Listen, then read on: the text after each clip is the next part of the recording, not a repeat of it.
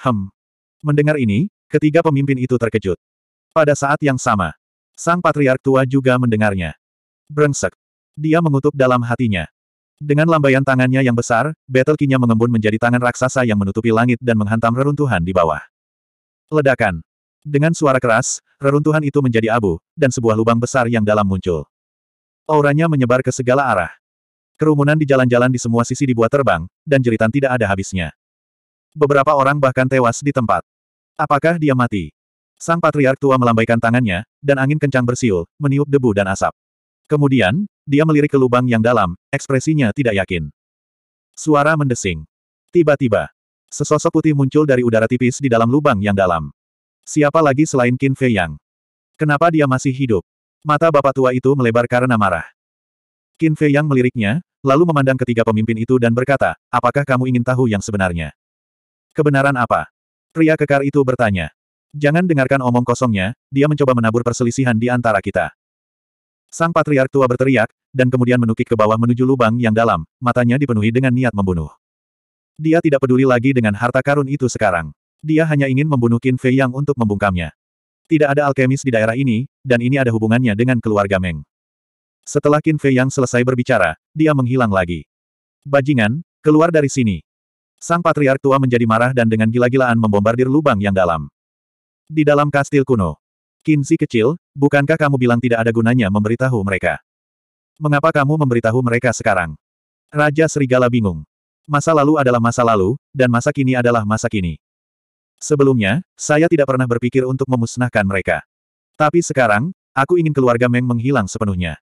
Cahaya dingin melintas di mata Qin Fei Yang. Mata Trenggiling bergetar. Pria galak ini benar-benar tidak bisa terpancing. Di luar, ketiga pemimpin itu berdiri di udara, semuanya tampak terkejut. Bagaimana ini bisa berhubungan dengan keluarga Meng? Mungkinkah ada rahasia tak terkatakan yang tersembunyi di dalamnya? Tuan klan tua merasakan ekspresi mereka dan buru-buru terbang ke langit. Dia berkata dengan marah, orang ini mempunyai niat jahat. Kalian bertiga tidak boleh mendengarkan omong kosongnya. Tapi sebelum dia bisa menyelesaikannya, suara Qin Fei yang terdengar lagi. Untuk menstabilkan posisi keluarga Meng di daerah ini, mereka dengan keji membunuh alkemis lainnya. Orang tua, dalam hal kekejaman, aku bahkan tidak bisa dibandingkan dengan sepersepuluh dari kalian. Dia melihat Qin Fei Yang berdiri di lubang yang dalam dengan senyum mengejek di wajahnya. Apa? Ketiga pemimpin itu terkejut, dan mata mereka berkedip. Bajingan kecil, jangan bicara omong kosong. Kepala keluarga tua itu meraung. Kamu tahu betul apakah aku mengatakan hal yang tidak masuk akal atau tidak?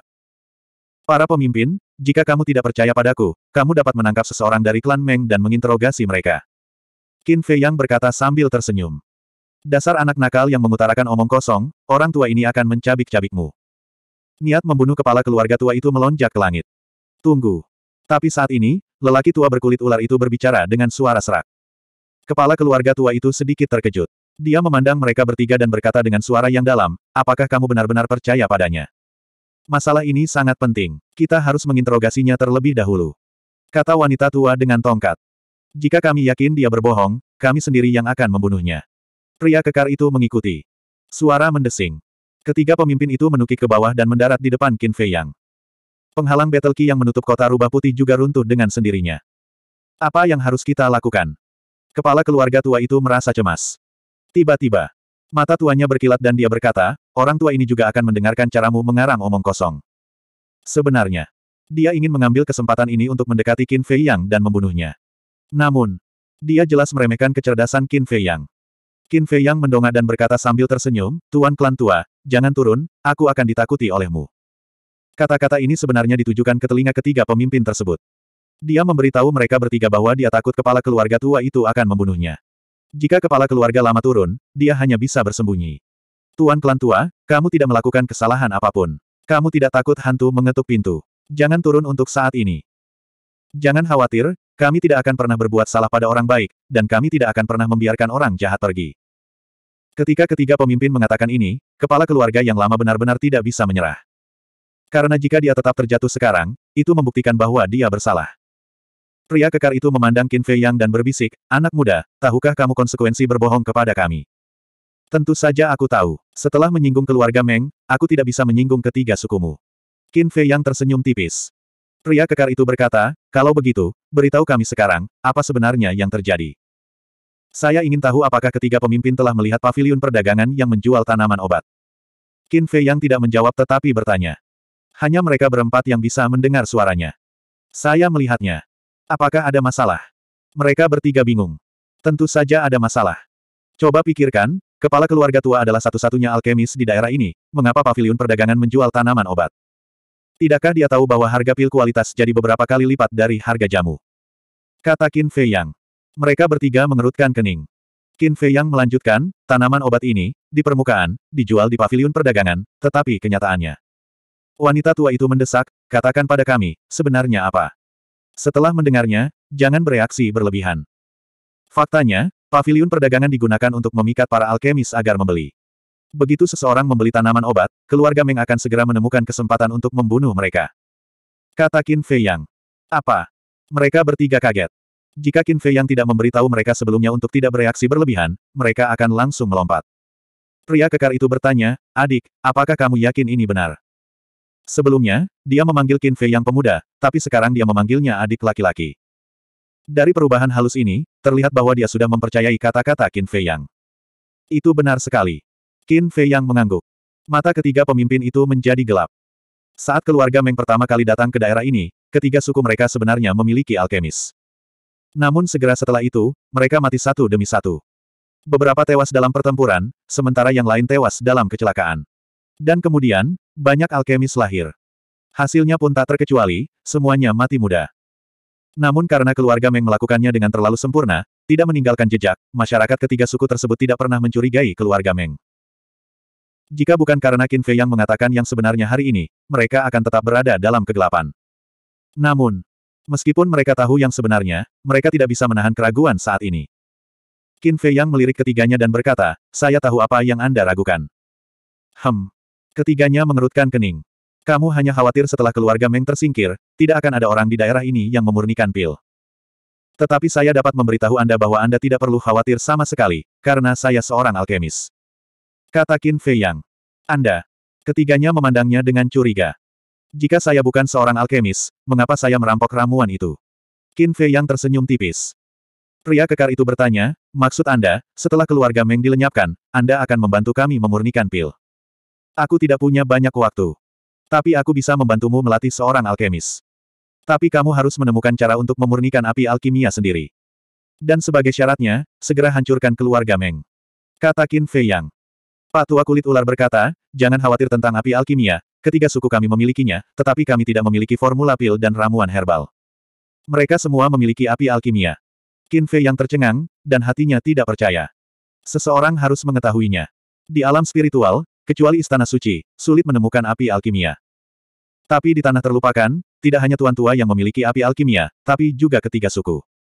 Mungkinkah api alkimia telah menyebar ke seluruh jalan di sini? Tidak.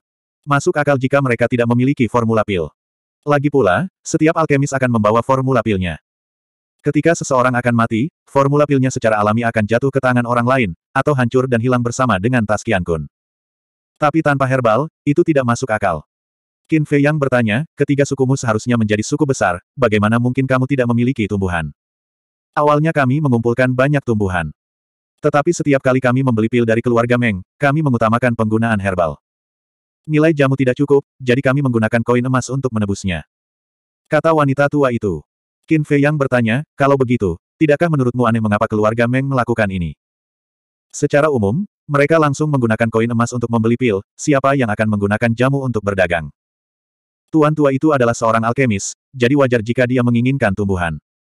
Dan ketiga suku kita tidak memiliki alkemis, jadi tidak ada gunanya menyimpan tanaman obat. Jadi, setiap kali keluarga Meng meminta kami menggunakan jamu untuk berdagang, kami tidak menolak. Bahkan di masa lalu, kami selalu berterima kasih padanya. Orang tua kekar itu menghela nafas. Baru pada saat inilah mereka memahami bahwa tindakan keluarga Meng sebenarnya adalah menghentikan mundurnya ketiga suku mereka. Klan Meng benar-benar tercela. Adik, bagaimana dengan ini? Beri kami formula pilnya, dan kami akan segera bergabung untuk membasmi keluarga Meng. Untuk ramuannya, tidak perlu merepotkanmu. Kami akan membelinya sendiri secara perlahan. Ketiga pemimpin itu menyarankan. Ini. Qin Fei yang ragu-ragu sejenak, dan berkata, saya tidak tahu banyak formula pil. Pria kekar itu berkata, tidak apa-apa, asalkan ada healing pil, body tempering pil, key pil, dan battle key pil. Pil obat ini sering digunakan. Qin Fei yang berkata, saya memiliki formula pil ini. Pria kekar itu berkata, baiklah, kalau begitu sudah diputuskan. Sekarang, kita harus menyusahkan adik kecil untuk memerankan sandiwara bersama kita.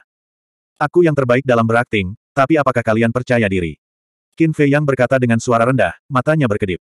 Tentu saja kami yakin, kami semua adalah kaisar perang bintang tiga. Jika kami melancarkan serangan diam-diam, kami jamin kami bisa membunuh mereka dalam satu serangan.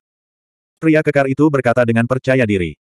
Berikutnya, mereka berempat perlahan menggelapkan wajah mereka dan mulai berdebat. Dan semakin sering mereka berdebat, semakin sengit jadinya mereka. Bajingan kecil, kamu tidak punya bukti apa pun, apa yang kamu bicarakan. Tiba-tiba, pria kekar itu berteriak. Telapak tangannya menghantam dada Qin Fei Yang seperti kilat. Ah! Qin Fei Yang menjerit dan menghantam tanah di belakangnya, memuntahkan darah. Faktanya, kekuatan pria kekar itu tidak besar, paling banyak sepersepuluhnya. Tetapi bahkan jika itu hanya sepersepuluh, itu bukanlah sesuatu yang dapat ditanggung oleh Qin Fei Yang. Dia naik dalam keadaan menyesal, darah dan ki di tubuhnya melonjak. Dia memelototi mereka bertiga dan berkata dengan marah, saya mengatakan yang sebenarnya, kenapa kamu tidak percaya padaku? Kamu masih mengutarakan omong kosong, kamu benar-benar mendekati kematian. Mata pria kekar itu dipenuhi dengan niat membunuh, dan dia melayangkan pukulan lagi ke arah Qin Fei Yang. Anak muda, jangan buang waktumu. Kamu hanya mencoba menabur perselisihan antara kami dan keluarga Meng. Sayangnya, tipuanmu telah kami ketahui. Pada saat yang sama, wanita tua dan pria tua kulit ular memasang tatapan mengejek di mata mereka. Menipu. Aku berjanji kamu akan menyesalinya. Qin Fei yang sangat marah hingga dia tertawa dan menghilang tanpa jejak. Bajingan kecil, jangan bersembunyi jika kamu punya nyali. Pukulan pria kekar itu meleset dan dia tidak bisa menahan diri untuk tidak mengaum. Melihat ini. 372. Di dalam kastil. Fatso berkata, Bos, sebaiknya Anda berhati-hati. Ketiga orang lama itu juga tidak boleh menjadi orang baik. Qin Fei yang mengangguk dan melemparkan pil penyembuh kelas atas. Dari percakapan sebelumnya, dia sudah tahu kalau mereka bertiga semuanya rubah tua. Memang benar dia harus berhati-hati. Di luar, sang patriark tua mendarat di lubang yang dalam dan berkata sambil tersenyum, kalian bertiga, harap tenang. Selama kita bekerja sama, tidak akan sulit untuk menyingkirkan anak ini. Pria kekar itu menoleh ke arahnya dan berkata, dia selalu bersembunyi seperti ini. Bagaimana kita bisa menyingkirkannya? Terus membuang-buang waktu seperti ini. Dia bisa bersembunyi untuk sementara, tapi dia tidak bisa bersembunyi selamanya. Cepat atau lambat, dia akan keluar. Bagaimana kalau begini, setelah masalah ini selesai, orang tua ini akan memberi kalian masing-masing 200 ribu pil pertempuran Ki. Sang patriark tua tertawa. Ketiga pemimpin itu saling memandang, dan wajah mereka penuh senyuman. Mereka menangkupkan tangan dan berkata, terima kasih, Bapak Bangsa Tua. Setelah mengatakan itu, mereka diam-diam mendekati Patriark Lama. Sang Patriark Tua tersenyum dan berkata, kita semua berada di pihak yang sama, mengapa kamu begitu sopan? Selain itu, orang yang seharusnya berterima kasih adalah aku. Haha. Mereka bertiga tertawa terbahak-bahak. Tapi tiba-tiba, mereka bertiga menyerang pada saat yang sama, pertempuran ki mereka melonjak. Pria kekar itu tiba-tiba meninju dadanya. Wanita tua dan patua kulit ular juga menamparkan punggungnya. Ah! Sang patriark tua segera berteriak, darah muncrat dari mulutnya. Pergantian peristiwa yang tiba-tiba ini membuat sang patriark tua benar-benar tercengang. Pria kekar itu mencibir dan mengambil kesempatan itu untuk meninju kepala leluhur tua itu. Ledakan. Disertai dengan suara retakan yang keras, kepala leluhur tua itu tiba-tiba pecah, dan darah muncrat. Sang patriark tua bahkan tidak mengerti apa yang terjadi sebelum dia meninggal. Dengan keras, dia jatuh ke dalam genangan darah. Desir. Saat berikutnya, Qin Fei yang muncul dari udara tipis, memandangi mayat leluhur tua itu, dan berkata sambil tersenyum, kalian bertiga benar-benar baik. Wanita tua itu terkekeh dan berkata dengan penuh arti, adik, kamu harus menepati janjimu. Tentu saja. Kata Qin Fei Yang. Patriark tua. Sekelompok penjaga berdiri di atas lubang yang dalam, mata mereka dipenuhi rasa tidak percaya. Mereka mendengar teriakan bapak tua itu dan ingin datang untuk melihat apa yang terjadi. Namun, dia tidak menyangka hal itu. Sang patriark tua sebenarnya sudah mati. Ayo cepat. Pergi dan laporkan kepada patriark bahwa Qin Fei yang telah bergabung dengan ketiga pemimpin. Setelah sadar kembali, para penjaga berbalik dan berlari menuju istana tuan kota. Mata Qin Fei yang dipenuhi dengan niat membunuh, dan dia berkata, saya harus menyusahkan kalian bertiga untuk pergi ke rumah tuan kota dan menyingkirkan tuan keluarga Meng. Wanita tua itu bertanya, bagaimana denganmu? Qin Fei yang berkata, saya akan membersihkan sisa kejahatan di kota. Wanita tua itu tersenyum dan berkata, menurutku itu bukan ide yang bagus. Lebih baik aku pergi dan membersihkan sisa kejahatan. Pergilah bersama mereka berdua ke istana tuan kota. Kamu tidak percaya padaku. Qin Fei yang mengerutkan kening. Pak Tua Sipi tertawa sinis, kamu terlalu licik, kita harus waspada. Qin Fei yang melirik mereka bertiga dan mengangguk. Baiklah, aku akan mendengarkanmu. Ayo pergi. Pak Tua Sipi melambaikan tangannya dan menyapu Qin Fei Yang, terbang keluar dari lubang menuju rumah tuan kota. Pria kekar itu juga bersiap untuk terbang keluar dari lubang. Wanita tua itu meraihnya dan berbisik, semua harta karun pavilion perdagangan ada padanya, jangan biarkan dia lolos. Saya mengerti. Pria kekar itu mengangguk. Suara mendesing. Keduanya terbang keluar dari lubang pada saat bersamaan. Pria kekar itu segera mengejar Qin Fei Yang dan Patua Sipi. Wanita tua itu melayang ke langit sendirian, menatap kota rubah putih dengan tatapan gila di matanya. Orang-orang keluarga Meng tersebar di setiap sudut kota rubah putih. Terlalu merepotkan untuk menemukannya satu persatu. Dia mungkin juga menghancurkan kota dan membunuh semua orang. Pergi ke neraka. Dia tertawa sinis, mengulurkan lengannya dan mengarahkan jari telunjuknya ke udara. Semburan ki pertempuran meletus dan meledak ke kota di bawah. Gemuruh. Disertai ledakan yang menggemparkan bumi, beberapa ratus meter tanah rata dengan tanah. Semua orang meninggal secara tragis. Qin Fei Yang dan dua lainnya telah memasuki rumah tuan kota. Setiap orang yang mereka temui dibunuh tanpa ampun oleh patua Sipi dan lelaki kekar itu. Tidak ada satu orang pun yang masih hidup. Ke mana pun mereka lewat, mayat-mayat dingin tertinggal. Kekosongan itu dipenuhi kabut berdarah, dan bau darah sangat menyengat. Mendengar ledakan di luar kota, Qin Fei Yang mengangkat alisnya dan bertanya, apakah dia membunuh orang tak bersalah di luar. Pria kekar itu menghiburnya, pasti akan ada beberapa orang tak bersalah yang akan mati, tapi jangan khawatir, dia tidak akan sampai membantai semua orang di kota. Apakah begitu? Qin Fei yang mengerutkan kening. Pria kekar itu mencibir, menatap Patua Sipi dan berkata, bahwa dia ketuan keluarga Meng, aku akan membunuh semua orang di istana tuan kota. Oke. Patua Sipi mengangguk. Haha, mati untukku. Pria kekar itu berbalik ke udara dan melambaikan tangannya. Semburan pertempuran Ki muncul dan berubah menjadi panah menyilaukan yang tak terhitung jumlahnya, menembak jatuh. Satu demi satu, para penjaga dan pelayan jatuh ke tanah. Ceritan menyedihkan tidak ada habisnya. Apa yang sedang terjadi? Dengan keributan yang begitu besar, bagaimana mungkin tuan keluarga Meng tidak mendengarnya? Dia bergegas keluar dari aula utama, dan begitu dia melihat pria kekar itu membantai semua orang, ekspresinya berubah. Suara mendesing. Patu Asipi dan Qin Fei yang berhenti di udara tidak jauh dari aula utama. Tuan keluarga Meng melirik Qin Fei Yang, lalu menatap Pak Tua Sipi dan berkata dengan marah, mengapa kamu melakukan ini? Mengapa? Qin Fei Yang telah memberitahu kami tentang bisnis gelap keluarga Meng Anda. Keluarga Mengmu bahkan berani bersekongkol melawan ketiga suku kami, kamu benar-benar mendekati kematian. Hari ini akan menjadi akhir dari keluarga Mengmu. Kata Pak Tua Sipi sambil tersenyum sinis. Tubuh tuan keluarga Meng gemetar, matanya beralih ke Qin Fei Yang dan berkata, bajingan kecil, aku akan membunuhmu. Qin Fei Yang berkata, tuan keluarga yang lama sudah mati, apa yang harus kamu lakukan untuk membunuhku? Apa? Ayah sudah meninggal. Tuan keluarga Meng tercengang. Tepat pada saat ini, Pak Tua Sipi menunjuk ke aula utama. Aliran Battle Ki keluar dari ujung jarinya dan meledak ke aula utama seperti kilat. Gemuruh. Aula utama langsung hancur. Gelombang energi destruktif yang menakutkan melanda segala arah. Segala sesuatu di sekitarnya hancur menjadi bubuk. Bajingan. Kamu menentang keluarga Mengku, kamu semua akan mati. Melihat pemandangan ini, tuan keluarga Meng mengertakkan gigi. Dia bertepuk tangan di udara, dan battle key-nya melonjak, langsung berubah menjadi tangan raksasa yang menutupi langit, menamparkan ke arah Qin Fei Yang dan Patua Sipi. Kamu hanya seekor semut, seberapa tinggi kamu bisa melompat? Patua Sipi berkata dengan nada menghina.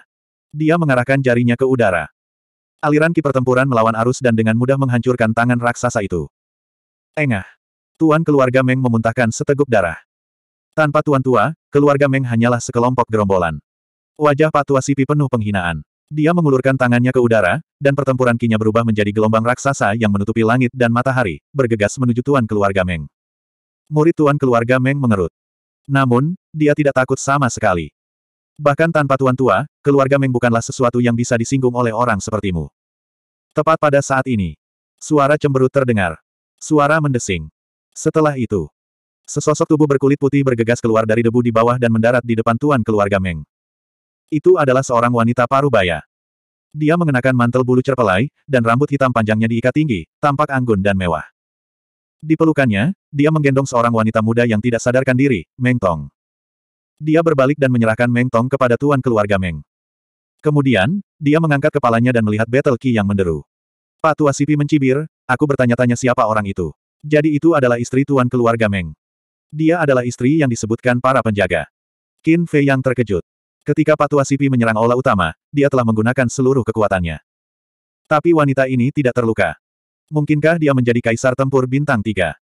Wanita itu menundukkan kepalanya dan memandang Qin Fei Yang dan Patua Sipi, dan berkata, kekuatan keluarga Meng jauh melampaui ini. Ledakan. Sebuah aura tiba-tiba meletus. Pada saat yang sama, dia mengangkat tangannya dan menunjuk ke udara. Battle Ki yang mempesona menembus langit dan bertabrakan dengan Battle Ki milik Patua Sipi. Ledakan. Dengan ledakan keras, Patua Sipi berhasil dikalahkan. Battle Ki-nya langsung hancur, dan dia menyemburkan seteguk darah. Sangat kuat. Murid Qin Fei yang mengerut. Dia benar-benar meremehkan kekuatan wanita ini. Aura yang dia keluarkan bahkan lebih kuat dari Tuan Lama. Pak Tua Sipi juga terkejut dan merasa tidak percaya. Apakah kamu terkejut? Wanita itu memandang keduanya dengan acuh tak acuh. Aura mengerikan seperti letusan gunung berapi menyelimuti mereka berdua. Hem. Pria kekar dan wanita tua di kejauhan merasakan situasi di sini, dan mata mereka dipenuhi kebingungan. Suara mendesing. Keduanya berubah menjadi seberkas cahaya dan dengan cepat terbang. Dia, dia, dia adalah kaisar tempur bintang empat. Pada saat ini, Pak Tua Sipi benar-benar terpana oleh kekuatan wanita paruh baya itu. Apakah kamu tidak mengenalnya? Kenapa kamu tidak tahu kekuatannya? Qin Fei yang mengerutkan kening. Aku memang pernah bertemu dengannya sekali, tapi saat itu, dia sengaja menyembunyikan auranya. Pak Tua Sipi sangat marah. Dia tidak menyangka keluarga Meng menyembunyikan ahli seperti itu. Aneh. Kenapa dia menyembunyikan auranya? Qin Fei yang bergumam pada dirinya sendiri. Yang lebih aneh lagi adalah ketika dia menyandera Meng Tong di pavilion perdagangan, wanita ini tidak muncul. Seseorang harus mengetahuinya. Sebagai seorang ibu, ia pasti akan resah jika mengetahui putrinya dalam bahaya. Bukankah orang ini terlalu tenang? Bukankah dia putri kandungnya? Mata tuan keluarga Meng dingin ketika dia berkata dengan suara rendah, Nyonya, jangan bicara omong kosong dengan mereka, cepat bunuh mereka. Jari penghancur langit. Wanita parubaya itu mengangkat tangannya dan menunjuk ke udara. Battle mengalir seperti arus deras. Dalam sekejap, itu mengembun menjadi jari raksasa yang panjangnya lebih dari 30 meter. Menghancurkan. Saat dia berbicara dengan dingin. Jari raksasa itu bergetar di kehampaan, melepaskan aura penghancur dunia yang meledak ke arah Qin Fei Yang dan Qin Yu. Qin Fei Yang, kita bukan tandingannya, cepat bawa aku bersembunyi. Pak Tua Sipi berkata dengan ngeri. Mata Qin Fei Yang berkilat saat dia pergi ke kastil kuno sendirian. Membawa lelaki tua ini ke kastil kuno seperti mengundang serigala ke dalam rumah. Dia tidak akan melakukan hal bodoh seperti itu. Bajingan kecil sialan. Patu Asipi mengumpat dengan marah. Tanpa ragu-ragu, dia berbalik dan mulai melarikan diri. Saat ini, wanita tua dan pria kekar itu bergegas mendekat. Ketika dia melihat jari besar dan budidaya wanita parubaya, ekspresinya tiba-tiba berubah. Dia berbalik di udara dan mulai melarikan diri tanpa menoleh ke belakang. Tolong aku. Kecepatannya jauh lebih cepat dari kita. Jika kita tidak membunuhnya, kita tidak bisa meninggalkan kota rubah putih hidup-hidup. 373. Pernah mendengarnya. Wanita tua dan pria kekar memiliki sedikit rasa permusuhan di mata mereka. Mereka tiba-tiba berbalik dan bergegas menuju lelaki tua itu. Setelah mereka bertiga berkumpul, mereka langsung melancarkan serangan balik. Ledakan.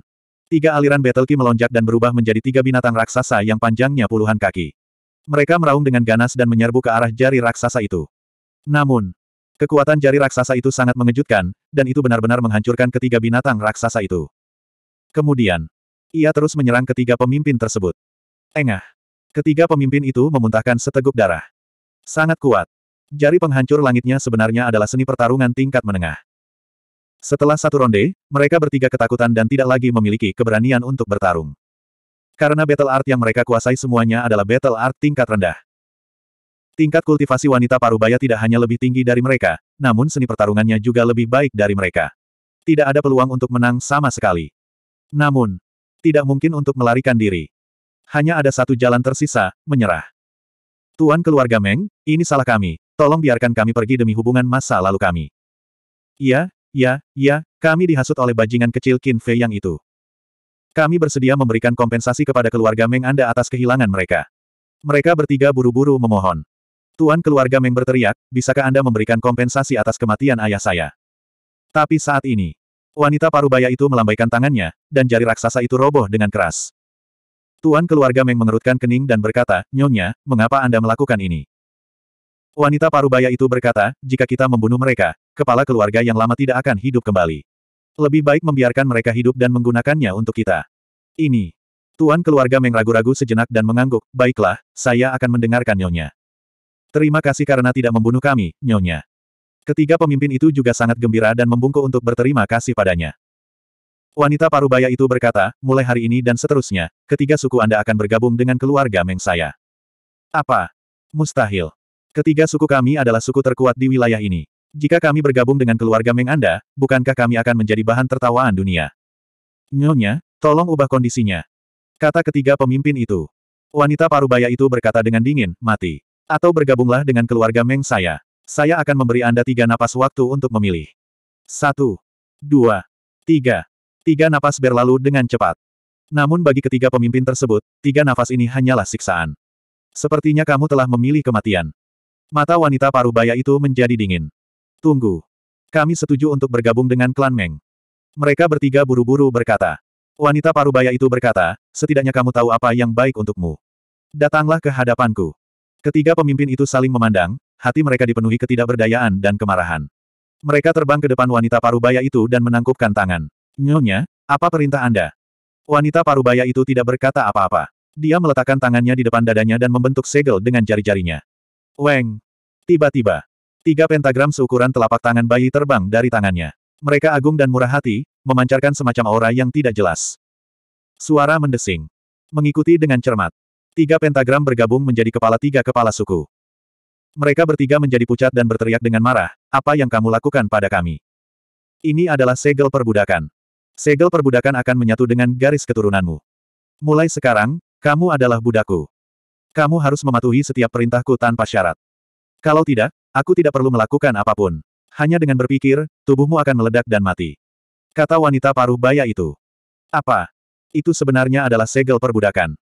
Tubuh dan pikiran ketiga pemimpin itu bergetar, mata mereka dipenuhi keputusasaan. Di dalam kastil kuno, Fatso bertanya dengan ragu, Bos, apa itu segel perbudakan? Aku juga tidak yakin. Qin Fei yang menggelengkan kepalanya. Tapi dari suaranya, segel perbudakan ini seharusnya menjadi semacam seni pertempuran untuk mengendalikan orang. Apa yang kita lakukan sekarang? Raja Serigala bertanya. Orang bijak tahu lebih baik untuk tidak berperang ketika ada rintangan yang menghadangnya. Mundur dulu. Kata binatang trenggiling itu. Qin Fei yang mengerutkan kening. Awalnya, dia ingin menggunakan ketiga pemimpin untuk menyingkirkan klan Meng. Namun, dia tidak menyangka bahwa sebenarnya ada kaisar tempur bintang empat yang disembunyikan. Sekarang bahkan ketiga pemimpin itu dikendalikan oleh klan Meng, dengan kekuatan sedikit dari mereka, tidak ada peluang untuk menang.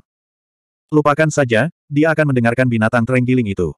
Bagaimanapun, dia sudah mendapatkan harta karun di gudang, jadi tidak perlu mengambil risiko lagi. Dia mungkin juga mencari kesempatan untuk pergi. Dia mengeluarkan gerbang teleportasi, matanya bersinar, dan dalam sekejap, dia muncul di luar. Segera setelah. Dengan lambaian tangannya, dia dengan cepat membuka gerbang teleportasi. Ledakan. Namun, sebelum dia bisa masuk, pertempuran Ki menerobos udara dan menghancurkan gerbang teleportasi. Desir. Setelah itu, wanita parubaya itu mendarat di hadapan Qin Fei Yang. Qin Fei Yang mengerutkan kening dan berkata, apa sebenarnya yang kamu inginkan? Apakah Anda harus bertarung sampai mati? Wanita parubaya itu berkata, serahkan harta di gudang dan jadilah budakku, maka aku tidak akan membunuhmu. Tidak akan membunuhku. Qin Fei Yang terkejut dan bertanya, mengapa? Wanita parubaya itu berkata, karena Anda adalah seorang alkemis, kota rubah putih saya membutuhkan seorang alkemis. Qin Fei Yang berkata, apakah kamu begitu yakin bahwa aku adalah seorang alkemis? Tidak sulit untuk menebaknya. Saya mendengar dari Meng Yiping bahwa Anda hanya menjarah ramuan obat di lantai dua paviliun perdagangan, tetapi menutup mata terhadap pil itu. Bukankah ini membuktikan bahwa kamu adalah seorang alkemis? Lagi pula, menurut spekulasi saya, kekuatan mental Anda tidak rendah, jika tidak, Anda tidak akan meremehkan pil itu. Kata wanita paruh baya itu. Meng Yiping adalah nama tuan keluarga Meng. Luar biasa. Qin Fei Yang mengacungkan jempol, memandang Meng Yiping, dan berkata, kamu wanita yang sangat pintar, mengapa kamu menikah dengan orang bodoh seperti itu? Dia sama sekali tidak layak untukmu. Meng Yiping berteriak, kurang ajar, jangan kasar pada istriku. Eh. Qin Fei Yang tercengang. Apa yang sedang terjadi? Mengapa ada sedikit rasa hormat di antara alis Meng Yiping? Sekalipun wanita ini lebih kuat dari Meng Yiping, sebagai suami dan istri yang tidur di ranjang yang sama, dia seharusnya tidak memiliki ekspresi seperti itu. Apalagi wanita ini juga memanggil Meng Yiping dengan namanya. Hubungan antara keduanya benar-benar menggugah pikiran. Wanita parubaya itu berkata, saya juga akan memberi Anda tiga napas untuk dipertimbangkan. Tiga napas. Qin Fei Yang menggelengkan kepalanya dan tersenyum, kamu cukup berterus terang, tidak seperti beberapa orang yang tampak seperti pria terhormat di permukaan, tetapi diam-diam mereka adalah penjahat yang tercela. Meng Yiping berteriak, saya menantang Anda untuk mengatakan itu lagi. Itu akan tetap sama tidak peduli berapa kali aku mengatakannya. Qin Fei Yang memberinya tatapan menghina, lalu memandang wanita paruh baya itu dan berkata, maaf, meskipun saya lemah, saya sangat keras kepala. Jika Anda ingin saya menjadi budak orang lain, saya tidak akan melakukannya. Kalau begitu aku harus membunuhmu. Begitu wanita paruh baya itu selesai berbicara, gelombang tekanan menyelimuti Qin Fei Yang. Percuma saja. Meskipun kamu sedikit lebih kuat dari Tuan Lama, kamu tidak bisa memenjarakanku dengan tekananmu. Qin Fei Yang menyeringai dan langsung menghilang tanpa jejak. Wanita parubaya itu mengangkat alisnya, menatap ketiga pemimpin itu, dan berkata, kalian bertiga, turunlah. Suara mendesing. Mereka bertiga dengan hormat mendarat di depannya. Wanita parubaya itu berkata, kalian bertiga tetap di sini. Jika dia kabur, aku akan membunuhmu. Iya. Mereka bertiga membungkuk sebagai jawaban.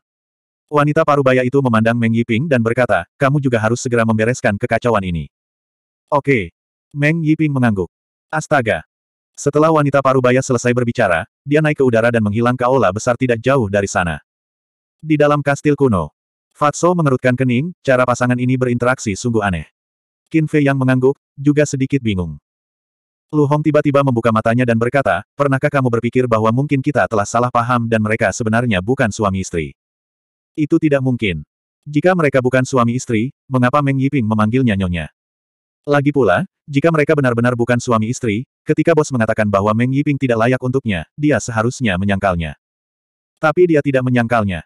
Kata Fatso. Lu Hong berkata, lalu mungkinkah dia ingin menggunakan Meng Yiping untuk menyembunyikan identitasnya? Sembunyikan identitasnya. Qin Fei Yang dan Fatso saling memandang dan sedikit mengernyit. Selain itu, gelar, nyonya, bukan merupakan gelar eksklusif antara suami dan istri. Bisa juga sebagai bentuk penghormatan. Misalnya, Ketika manajer Li Zi di kota Yan menelepon Luo Qiansui, bukankah dia juga memanggilnya nyonya? Lu Hong berkata lagi. Benar, kenapa aku tidak memikirkan hal itu? Kata-katanya membangunkan mereka dari mimpi mereka.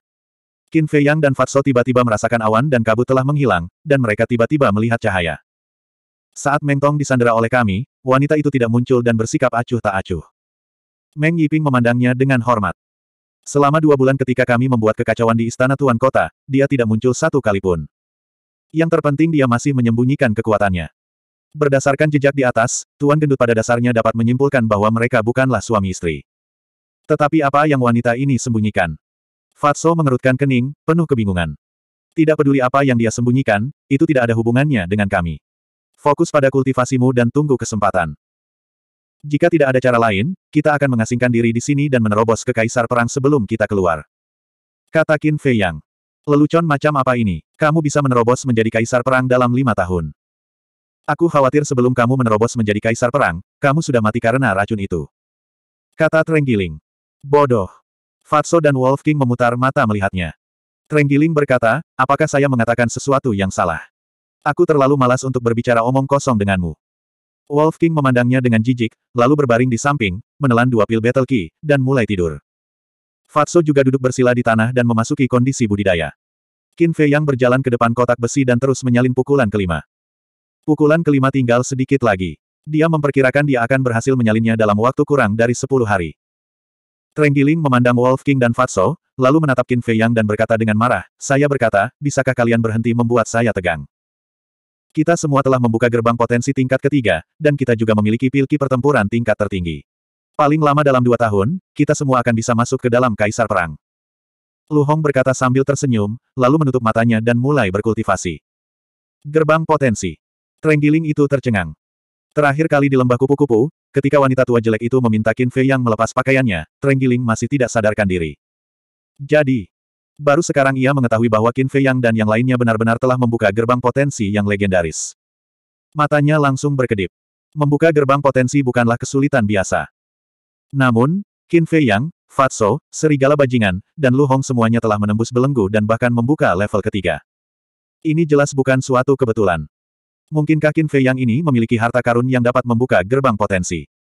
Ketika memikirkan hal ini, ia menjadi sangat bersemangat. Ia dengan penuh semangat berlari ke sisi Qin Fei Yang dan berkata sambil tersenyum menyanjung, Saudara Qin, apakah kamu ada waktu luang? Saudara Qin.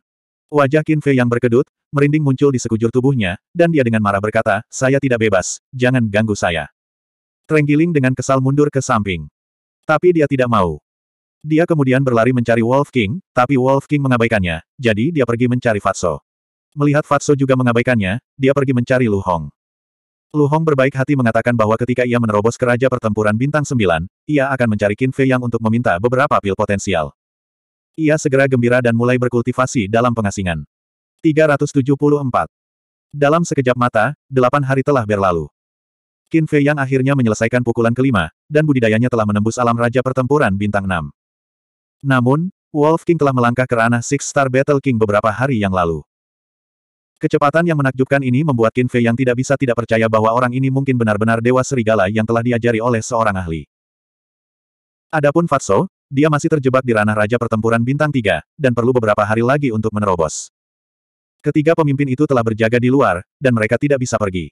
Qin Fei yang tidak terburu-buru, dan dia terus menyalin pukulan ke-6. Selama ini, masalah terus menghadangnya, dan dia tidak mampu berkultivasi dengan baik. Oleh karena itu, dia sebaiknya memanfaatkan kesempatan langka ini untuk meningkatkan kekuatannya. Di aula tertentu, seorang wanita parubaya sedang duduk di atas sajadah dengan mata tertutup. Dong dong. Seseorang mengetuk pintu. Masuk. Wanita parubaya itu membuka matanya. Pintu dibuka, dan Meng Yiping masuk. Dia membungkuk dan berkata, Salam, Nyonya. Wanita parubaya itu bertanya, bagaimana kabar putri Anda? Meng Yiping berkata, terima kasih atas perhatian Anda, Nyonya. Tonger baik-baik saja sekarang. Bagaimana dengan Qin Fei Yang? Wanita parubaya itu bertanya. Dia belum muncul, jadi dia harus bertekad untuk menyelesaikan masalah ini bersama kita. Saat menyebut Qin Fei Yang, wajah Meng Yiping dipenuhi dengan kebencian. Wanita parubaya itu mengerutkan kening dan bertanya, apakah Anda menyalahkan saya karena tidak membunuh ketiga pemimpin untuk membalaskan dendam Tuan Tua? Saya tidak akan berani. Meng Yiping buru-buru menggelengkan kepalanya. Wanita parubaya itu menatapnya dalam-dalam, lalu melambaikan tangannya dan berkata, kamu boleh pergi. Segera beritahu aku jika terjadi sesuatu. Bawahan ini akan pergi. Meng Yiping menangkupkan tangannya, lalu berbalik dan pergi. Ada satu hal lagi yang harus kamu perhatikan. Pikiran Qin Fei yang tidak sederhana. Jangan biarkan dia mengetahui hubungan kita. Wanita parubaya itu memperingatkan. Dipahami. Meng Yiping mengangguk dan segera meninggalkan ruangan, menutup pintu di belakangnya. Wanita parubaya itu melihat ke pintu yang tertutup rapat, dan setelah beberapa saat linglung, dia dengan cepat membentuk segel dengan tangannya, dan segel perbudakan muncul. Berikutnya, segel perbudakan terangkat ke udara dan melayang di depannya. Semua yang pernah kumiliki hancur karenamu. Mulai sekarang, aku akan menggunakanmu untuk menyatukan benua ini dan menjadi satu-satunya kaisar di dunia ini. Dia melihat segel perbudakan dengan cahaya yang tak terlukiskan di matanya. Di ibu kota negara spiritual. Di ruang istirahat pavilion harta karun berharga, seorang wanita dengan pakaian berwarna-warni duduk sendirian di samping meja teh, bergumam pada dirinya sendiri. Sesaat kemudian, Yin Yuanming buru-buru masuk ke ruang tunggu dan bertanya, Tuan Pavilion, mengapa Anda memanggil saya ke sini terburu-buru? Wanita dengan pakaian beraneka warna bertanya, apakah Anda sudah menghubungi Qin Fei Yang? Yin Yuanming menggelengkan kepalanya. Sudah lama sekali, kenapa masih belum ada kabar? Apa dia sudah mati? Wanita berpakaian warna-warni itu mengerutkan kening. Memang benar, beberapa orang mengatakan bahwa dia mungkin sudah mati. Tapi aku tidak percaya anak itu sudah mati. Dia pasti sedang bermain-main di suatu tempat. Yin Yuanming mengerucutkan bibirnya. Kalau begitu, menurutmu apakah kita harus terus melarang klan Lu? Selama jangka waktu ini, monster tua Lu menggangguku setiap hari. Jika bukan karena kepala manor, aku tidak akan bisa bertahan lebih lama lagi. Wanita berpakaian warna-warni itu agak kesal. Yin Yuanming merenung sejenak dan berkata, mari kita angkat untuk saat ini. Kita akan membahasnya lagi ketika Qin Fei yang kembali. Wanita berpakaian warna-warni itu berkata, baiklah, nanti beri perintah untuk mencabut larangan terhadap klan Lu. Baiklah. Yin Yuanming mengangguk dan pergi sambil membungkuk. Istana Suci. Kediaman Lu Yun. Lu Yun duduk di pavilion dengan Yan Nanshan berdiri di sampingnya. Lu Yun bertanya, apakah Qin Fei yang sudah menghubungimu? Tidak. Saya mengiriminya pesan setiap beberapa hari, tapi itu seperti batu yang tenggelam ke laut. Tidak ada tanggapan. Wajah Yan Nanshan dipenuhi kekhawatiran. Apakah dia benar-benar mati? Lu Yun mengerutkan kening. Yan Nanshan berkata, itu tidak mungkin. Dengan kemampuannya, tidak ada yang bisa membunuhnya. Mungkin bukan itu masalahnya. Klan Lu dan klan Dong sama-sama ingin menyingkirkannya. Aku hanya khawatir monster tua dari kedua klan ini akan membunuhnya tanpa ada yang menyadarinya. Kata Lu Yun. Hati Yan Nanshan mencelos. Itu mungkin saja terjadi. Karena, jika orang lain mengirim pesan ke Qin Fei Yang, wajar jika Qin Fei Yang tidak menjawab. Namun, dengan hubungannya dengan Qin Fei Yang, tidak peduli seberapa sibuknya Qin Fei Yang, dia akan tetap meluangkan waktu untuk merespons dan memberitahu dia bahwa dia aman. Lu Yun berkata, Yan Nanshan, kenapa kamu tidak pergi ke luar kota dan melihat apakah ada petunjuk? Kamu juga bisa pergi ke klan Lu dan klan Dong untuk mencari tahu. Baiklah. Yan Nanshan mengangguk dan berubah menjadi aliran cahaya yang menembus langit. Pada saat yang sama, Istana Suci, di puncak gunung tertentu. Sesosok cantik berdiri tertiup angin. Pakaian putihnya berkibar saat rambut hitamnya menari tertiup angin. Dia seperti peri dari sembilan surga yang ingin menunggangi angin. Fei Yang, ke mana kamu pergi? Dia menatap cakrawala di kejauhan, matanya yang jernih dipenuhi kekhawatiran yang tidak bisa dihilangkan. Dia tidak lain adalah Ren Wushuang. Beberapa orang khawatir tentang hilangnya Qin Fei Yang, sementara yang lain senang. Orang-orang seperti Sao Hong dan Dong Cheng yang memiliki dendam terhadap Qin Fei yang tentu saja berharap Qin Fei yang benar-benar mati di luar dan tidak pernah kembali. Negeri yang terlupakan. Waktu berlalu hari demi hari. Qin Fei yang sudah setengah melakukan pukulan keenam. Selama periode ini, Fatso juga berhasil menjadi Raja Pertempuran Bintang 4 dan dengan gila-gilaan berusaha menjadi Raja Pertempuran Bintang 5. Melihat kemajuan semua orang namun tetap sama, Trenggiling semakin mendambakan pil potensial. Raja ini harus bekerja keras. Dengan mereka sebagai tujuanku, tidak, tidak, tidak, raja ini harus melampaui mereka. Cepat atau lambat, raja ini akan menunggangi serigala bajingan. Diam-diam ia bersumpah. Qin Fei Yang, guru ingin berbicara dengan Anda. Jika Anda mendengarnya, segera keluar. Beberapa hari kemudian, suara pria kekar terdengar di kastil kuno. Namun, Qin Fei Yang mengabaikannya. Katakan padanya bahwa tidak ada gunanya membuang-buang waktu seperti ini. Semakin cepat dia menyerah padaku, semakin cepat dia bisa menjalani kehidupan tanpa beban. Setelah pria kekar itu kembali melapor kepada wanita parubaya tersebut, wanita parubaya itu mendengus dingin. Namun, ketika pria kekar itu menyampaikan pesan kepada Qin Fei Yang, Qin Fei Yang tetap mengabaikannya. Waktu berlalu. Pada hari ini, pukulan ke-6 selesai. Budidaya Qin Fei Yang sekali lagi menyambut baik terobosan. Raja Pertempuran Bintang 7. Dia akhirnya menarik lengannya dan menutup formula ilahi enam kata. Karena pil Battle Key hampir habis. Sudah waktunya untuk mulai memurnikan pil. Dan kali ini, dia membutuhkan total 50 hari untuk menyelesaikan pukulan ke-6. Menghitung dengan cermat, sudah lebih dari empat bulan sejak dia memasuki tanah terlupakan. Yan Nanshan dan Ren Wushuang pasti khawatir. Qin Fei Yang mengingat waktu dengan sangat jelas. Karena dia harus meminum setetes cairan bening setiap dua bulan sekali. Termasuk tetes yang dia minum di Butterfly Valley, dia sudah meminum empat tetes sekarang. Fiuh. Dia menghela nafas panjang dan menoleh ke arah Wolf King. Bajingan ini sudah masuk ke dalam Raja Pertempuran Bintang Tujuh setengah bulan yang lalu. Dia memperkirakan ketika dia memurnikan pilnya, dia akan menerobos lagi. Orang aneh. Qin Fei yang bergumam, membuang semua pikiran yang mengganggu, dan mulai menyempurnakan pil pertempuran Qi. Kali ini, dia menyempurnakannya selama lebih dari 20 hari berturut-turut. Dia tidak berhenti sampai kekuatan mentalnya habis. Secara total, dia memurnikan lebih dari 200 ribu pil. Rata-rata, dia bisa memurnikan satu pil setiap 10 napas. Bahkan di seluruh tempat suci, tidak ada yang berani membandingkannya dengan kecepatan ini. Tiba-tiba, jantungnya menjadi lengah, dan rasa sakit yang menusuk datang lagi. Ditambah dengan habisnya kekuatan mentalnya, dia langsung berjungkir balik dan jatuh ke tanah dengan keras. Apa yang salah? Fatso, Lu Hong, Wolf King, dan Trenggiling semuanya terbangun. Qin Fei yang buru-buru mengeluarkan botol giok dan meminum setetes cairan transparan. Baru setelah itu rasa sakit yang tajam hilang. Ini adalah penurunan kelima, yang berarti mereka telah berada di negeri terlupakan selama lima bulan. Fiuh. Qin Fei Yang menarik napas dalam-dalam, bangkit, dan berkata sambil tersenyum, itu hanya racun hitam yang beraksi, tidak ada yang serius. Tidak perlu berkultivasi lagi. Wolf King terkekeh dan tiba-tiba melompat. Dan saat dia bangun, auranya tiba-tiba melonjak dan langsung menuju ke Raja Pertempuran Bintang Delapan. Benar saja, dia berhasil menerobos. Wajah Qin Fei Yang berkedut. Trenggiling meraung, sial, bagaimana aku bisa hidup seperti ini? Hanya dalam lima bulan. Wolf King melonjak dari Raja Pertempuran Bintang 4 ke Raja Pertempuran Bintang 8. Qin Fei Yang juga meningkatkan budidayanya menjadi Raja Pertempuran Bintang 7. Jika dia tidak memurnikan pil dan tidak mengalami masalah yang merepotkan itu, dia mungkin sudah menjadi Raja Pertempuran Bintang 8 sekarang. Dan gendut. Ledakan. Ketika melihat Fatso, budidaya Fatso juga telah menembus. Dia adalah Raja Pertempuran Bintang 5. Trenggiling hendak menangis. Ketika mereka pertama kali bertemu, Fatso hanyalah raja pertempuran bintang dua. Sekarang, dia tidak hanya berhasil mengejarnya, dia bahkan telah melampauinya. Sekelompok monster. Dengan kecepatan seperti ini, mereka tidak memerlukan waktu lima tahun untuk menerobos ke alam kaisar pertempuran.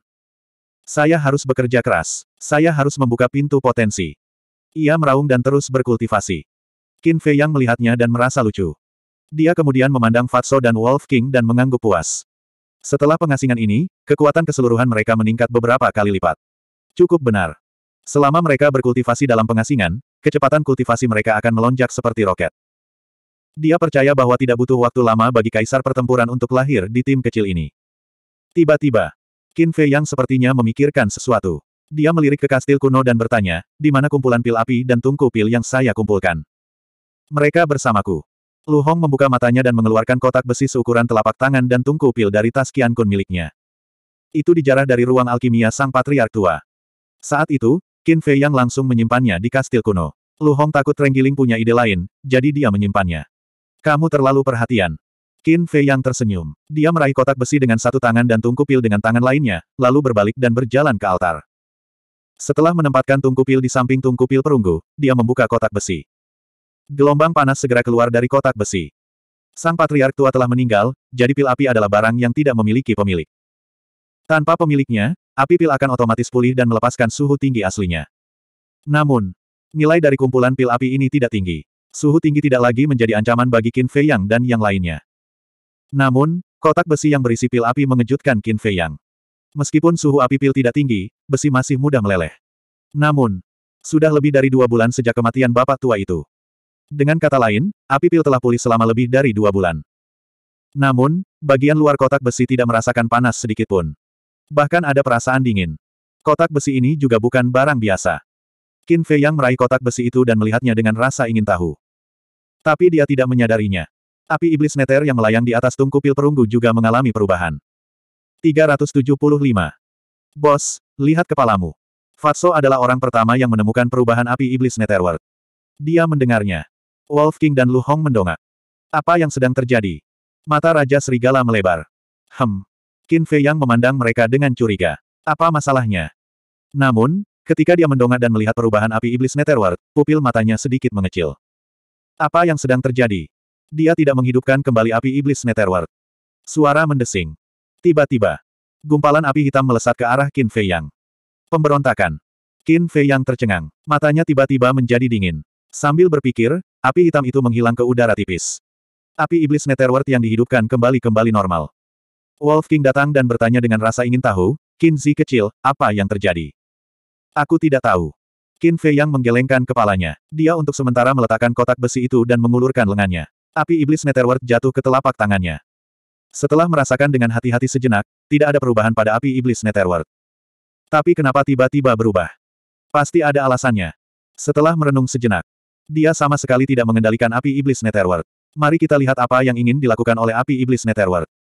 Api iblis dunia bawah yang kehilangan kendali, seperti kuda liar yang melarikan diri, segera bergegas menuju tangan kiri Qin Fei Yang. Hem. Qin Fei yang mengangkat alisnya. Apakah ia benar-benar akan memberontak? Namun, hasilnya jauh di luar ekspektasinya. Target dari api iblis Netherworld bukanlah dia sama sekali. Itu adalah kumpulan api alkimia di tangan kirinya. Api iblis Netherworld, seperti serigala lapar, bergegas menuju api alkimia. Bercak api iblis gelap menyembur keluar dan melilit api alkimia. Kemudian, pemandangan menakjubkan muncul. Api iblis dunia bawah benar-benar menelan api alkimia. Itu benar. Itu sedang menelan. Api alkimia yang dibungkus api iblis menghilang dengan kecepatan yang terlihat dengan mata telanjang. Di sisi lain, api iblis Netherworld semakin membara. Qin Fei Yang dan yang lainnya saling memandang. Setelah sekian lama, ternyata Nether Devil Flame ini ingin melahap kumpulan pil api itu. Tapi bukankah ini terlalu tidak masuk akal? Wolf King bertanya dengan heran, Qin Zi kecil, pernahkah kamu melihat sesuatu seperti ini di ibu kota? Aku bersumpah aku tidak melakukannya. Qin Fei Yang menggelengkan kepalanya. Sial, kamu benar-benar dari ibu kota kekaisaran. Trenggiling awalnya berencana untuk mengasingkan diri dengan damai, tetapi ketika mendengar kata-kata ini, tiba-tiba ia membuka matanya dan menatap Qin Fei Yang, matanya bersinar. Tapi saat ini, tidak ada yang memperhatikannya. Mereka semua sedang melihat api iblis Netherworld. Selusin napas kemudian. Gugusan api itu benar-benar lenyap. Nether Devil Flame yang dihidupkan kembali akhirnya tenang. Tapi di waktu yang sama, beberapa informasi muncul di benak Qin Fei Yang entah dari mana. Ini adalah informasi tentang api iblis Netherworld. Qin Fei yang menutup matanya dan membaca informasinya dengan cermat. Sesaat kemudian, dia tiba-tiba membuka matanya. Dua sinar cahaya terang keluar dari matanya. Apa itu? Fatso dan yang lainnya memandangnya dengan heran. Qin Fei yang berkata, api iblis Netherworld adalah pil api kelas 1. Wolf King berkata, apakah ada yang salah denganmu? Itu hanya pil api kelas 2. Mengapa kamu begitu bahagia? Qin Fei Yang berkata sambil tersenyum, jika itu hanya pil api kelas 2 biasa, tentu saja saya tidak akan begitu senang. Apa maksudmu? Raja Serigala terkejut.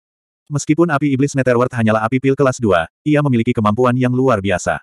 Ia dapat meningkatkan nilainya dengan melahap api pil lainnya. Kata Qin Fei Yang.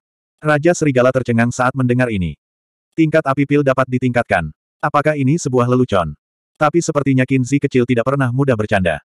Fatso berkata dengan heran, berapa banyak pil api yang perlu ditelannya. Bisakah ia melahap semua pil api? Tentu saja tidak. Api iblis dunia bawah hanya bisa melahap api pil dengan tingkat yang sama. Sekarang, api iblis Netherworld adalah api pil kelas 2, jadi hanya bisa melahap api pil kelas 2. Dan ia perlu melahap tiga pil api kelas 2 untuk mencapai kelas 3.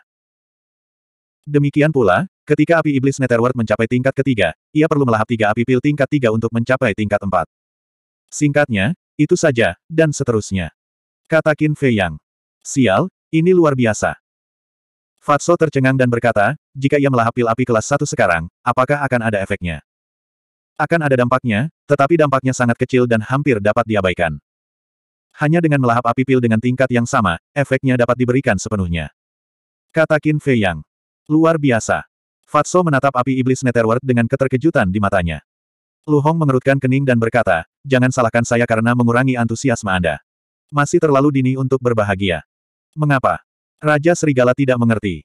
Lu Hong berkata, kalian semua tahu betapa jarangnya kebakaran pil. Tidak realistis menemukan tiga kebakaran pil kelas dua untuk dimakan. Qin Fei Yang dan yang lainnya tercengang, lalu tersenyum pahit. Lu Hong benar. Meskipun api iblis Netherworld dapat ditingkatkan, jumlah kebakaran pilnya terlalu sedikit. Meningkatkannya satu tingkat lebih sulit daripada naik ke langit. Fatso bertanya, berapa tingkat pil api yang baru saja ditelannya?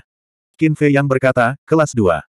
Artinya, selama ia melahap dua api pil kelas 2, ia dapat meningkatkan api iblis Netherworld ke kelas 3. Tuan Gemuk ingat bahwa ketiga kepala suku mengatakan bahwa suku mereka memiliki pil api, kan? Ayo kita rampok saja. Mungkin kebakaran pil di suku mereka adalah kebakaran pil kelas 2. Kata Fatso. Mata Qin Fei yang berbinar. Wolf King mendesak, tidak ada waktu yang terbuang. Ayo segera mulai.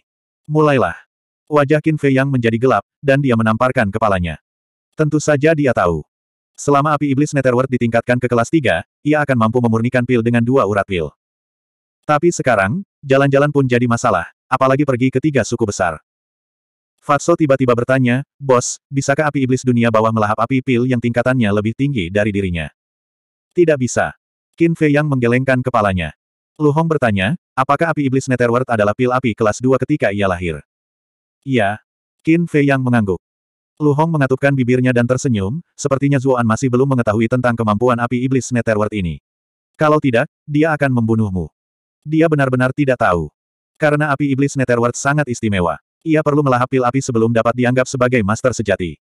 Hanya dengan begitu informasi tentang api iblis Netherworld akan muncul di pikiranku.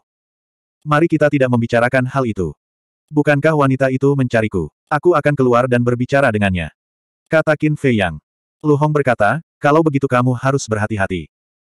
Qin Fei Yang mengangguk, mengambil kotak besi itu, melihatnya dengan rasa ingin tahu, dan memasukkannya ke dalam tas Qian Kun miliknya. Desir. Saat berikutnya. Dia muncul di luar. Kamu masih keluar. Dan di sini aku bertanya-tanya seberapa mampu kamu. Ternyata kamu biasa saja. Mata ketiga kepala suku itu dingin.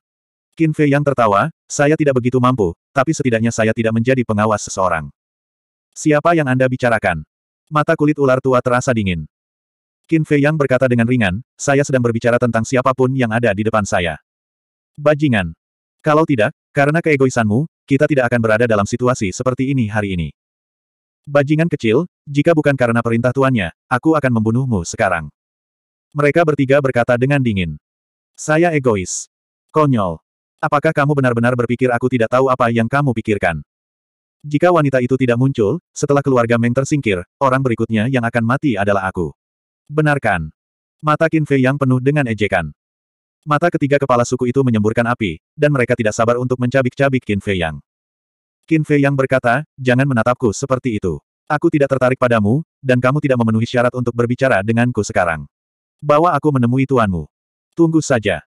Kamu akan mati mengenaskan cepat atau lambat. Mereka bertiga tersenyum dingin, mengelilingi Qin Fei yang di tengah, dan berjalan menuju aula. Di pintu masuk aula, ada sepuluh penjaga. Ketika mereka melihat Qin Fei yang datang, mata mereka penuh kedinginan.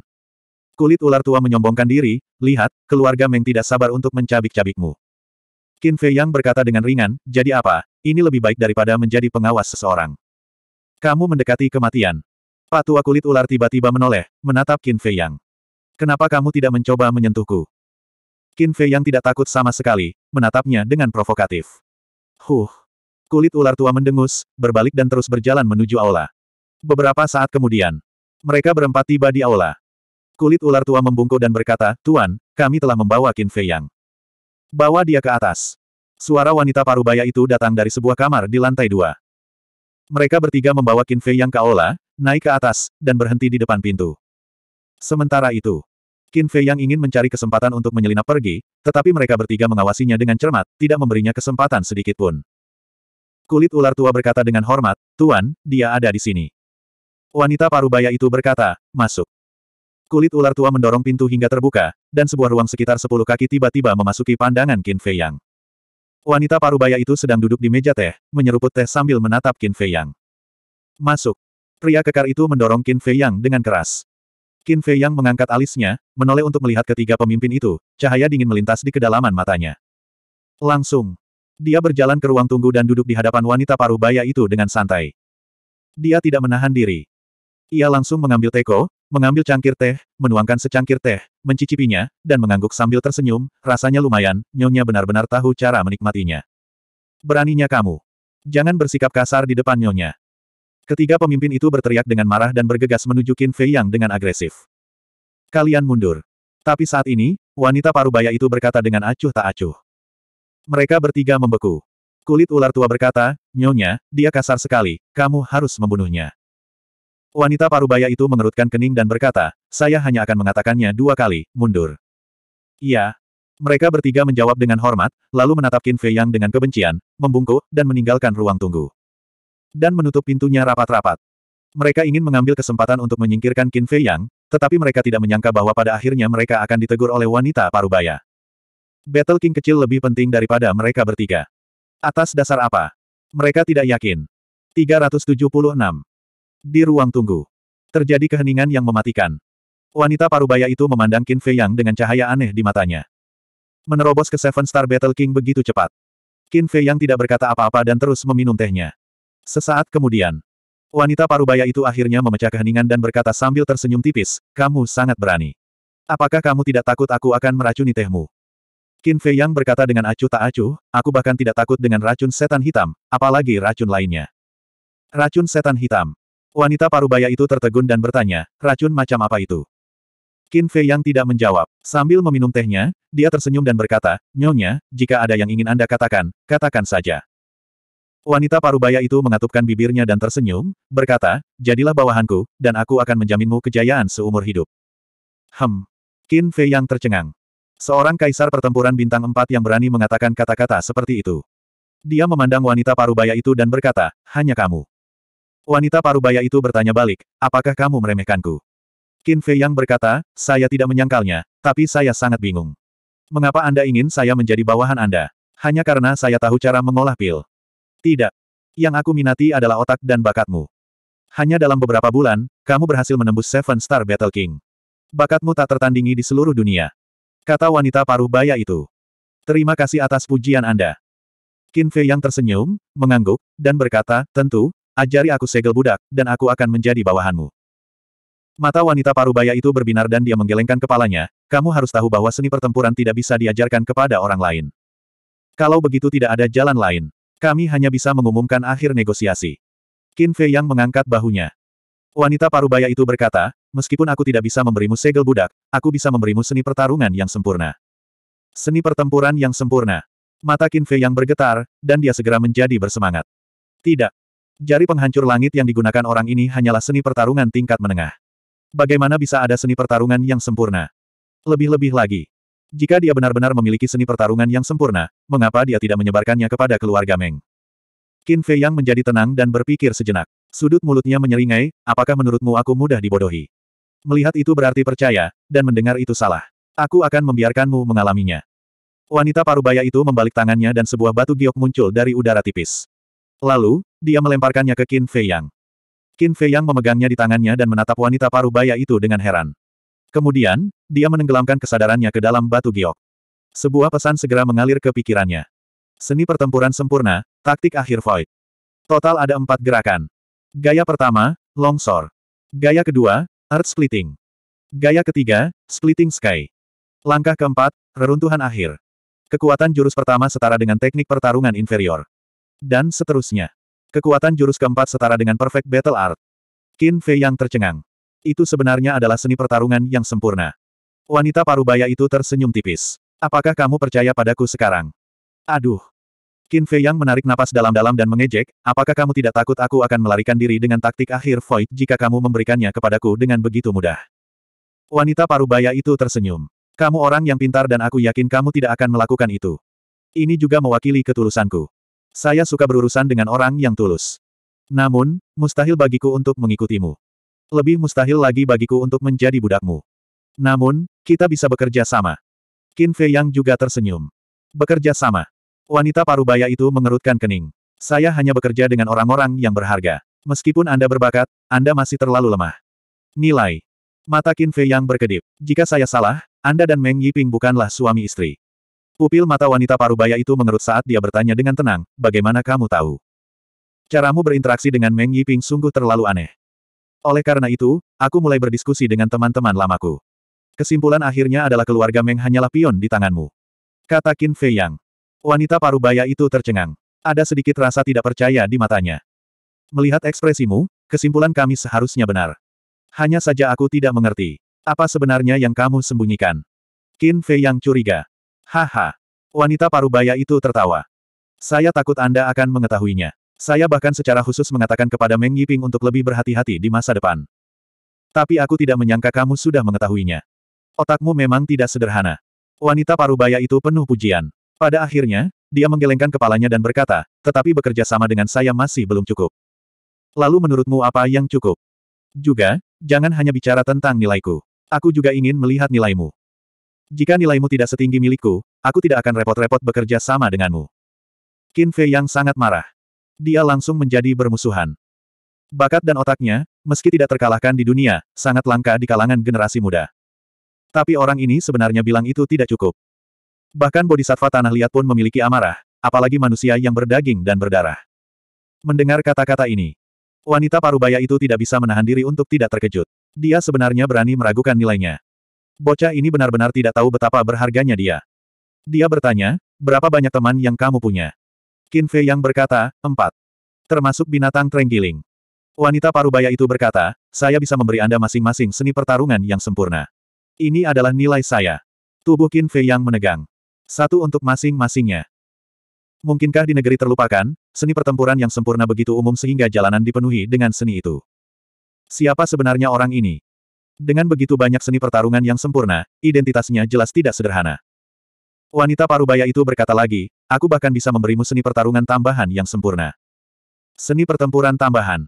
Qin Fei yang tiba-tiba berdiri. Matanya dipenuhi rasa tidak percaya yang mendalam. Seni pertempuran tambahan yang sempurna, bahkan di ibu kota kekaisaran, sangatlah unik. Sejauh yang dia tahu, hanya kaisar saat ini yang memiliki seni pertempuran tambahan yang sempurna. Tenang. Kamu harus tetap tenang. Qin Fei yang kembali ke tempat duduknya dan melihat ke bawah pada slip giok di tangannya. Matanya berkedip. Jika orang ini benar-benar memiliki seni pertarungan tambahan yang sempurna, maka latar belakangnya pasti sangat mengejutkan. Jika dia bekerja sama dengannya, tidak diragukan lagi dia meminta kulit harimau. Karena dia tidak tahu apa motif wanita ini. Namun, godaan dari battle art yang sempurna terlalu besar. Tidak ada cara untuk menolaknya. Mengambil napas dalam-dalam beberapa kali, Qin Fei yang mengangkat kepalanya dan bertanya, mengapa kamu tidak memberikan seni pertempuran kepada keluarga Meng? Wanita parubaya itu berkata, sederhana sekali, nilainya saja tidak cukup. Memberikannya kepada mereka hanyalah pemborosan. Ini adalah penjelasan yang sangat masuk akal.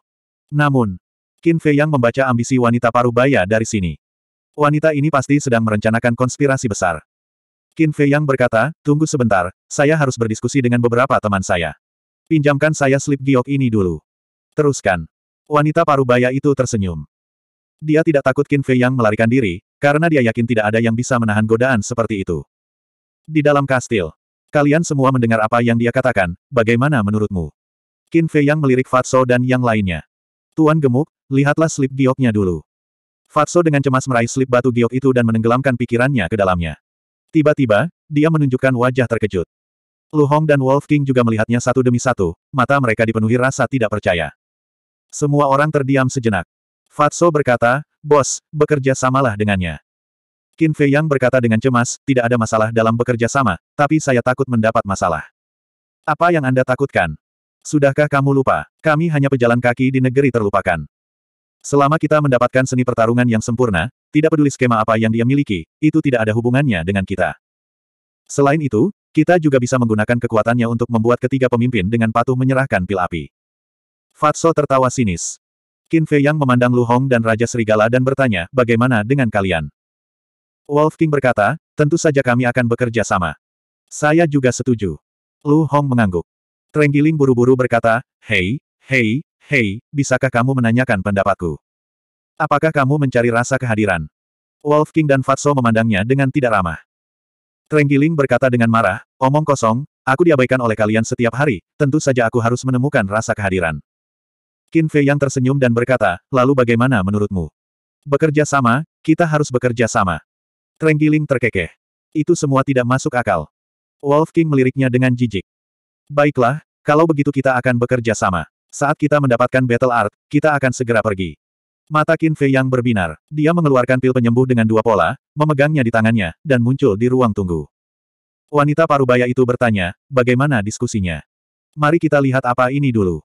Qin Fei yang mengulurkan tangannya dan membuka telapak tangannya. Pil penyembuh muncul di depan mata wanita parubaya itu. Apa? Mata wanita parubaya itu melebar. Dia mengambil pil penyembuh dan melihatnya dari atas ke bawah, ke kiri dan ke kanan. Pil dengan dua pola. Matanya dipenuhi dengan kebingungan saat dia mengangkat kepalanya untuk melihat Qin Fei Yang dan bertanya, kamu menyempurnakan ini. Siapa lagi? Qin Fei Yang mengangkat bahu. Bagus. Sangat bagus. Kamu memenuhi syarat untuk bekerja sama denganku. Wanita parubaya itu sangat gembira. Dia meletakkan pil penyembuh dan berkata, panggil temanmu keluar. Hem. Jantung Qin Fei Yang berdetak kencang dan dia segera menjadi waspada. Jangan khawatir. Aku tidak akan melukai mereka. Aku hanya ingin melihat seperti apa jiwa pertempuran mereka. Kalau begitu aku akan tahu seni pertarungan apa yang paling cocok untuk mereka. Wanita parubaya itu tersenyum. Benar-benar. Qin Fei yang mengerutkan kening. Wanita parubaya itu menggelengkan kepalanya. Kamu benar-benar mencurigakan. Aku bersumpah. Qin Fei yang memandangnya dengan curiga. Dia menjentikan lengan bajunya dan Fatso, Lu Hong, Wolf King, dan Trenggiling muncul dari udara. Saat mereka muncul, mereka berlari ke belakang Qin Fei Yang. Dengan cara ini, jika wanita parubaya ingin menyakiti mereka, mereka bisa segera bersembunyi di kastil. Wajah wanita parubaya itu bergerak-gerak. Apakah dia setan? Apakah dia harus sangat waspada? Pantas saja anak-anak kecil ini berani membuat onar di White Fox City. Dengan temperamen mereka, akan sulit menangkap mereka. Dia tersenyum tipis. Aktifkan jiwa pertempuranmu. Wolf King berkata, di sini. Jika aula utama runtuh nanti, jangan salahkan kami.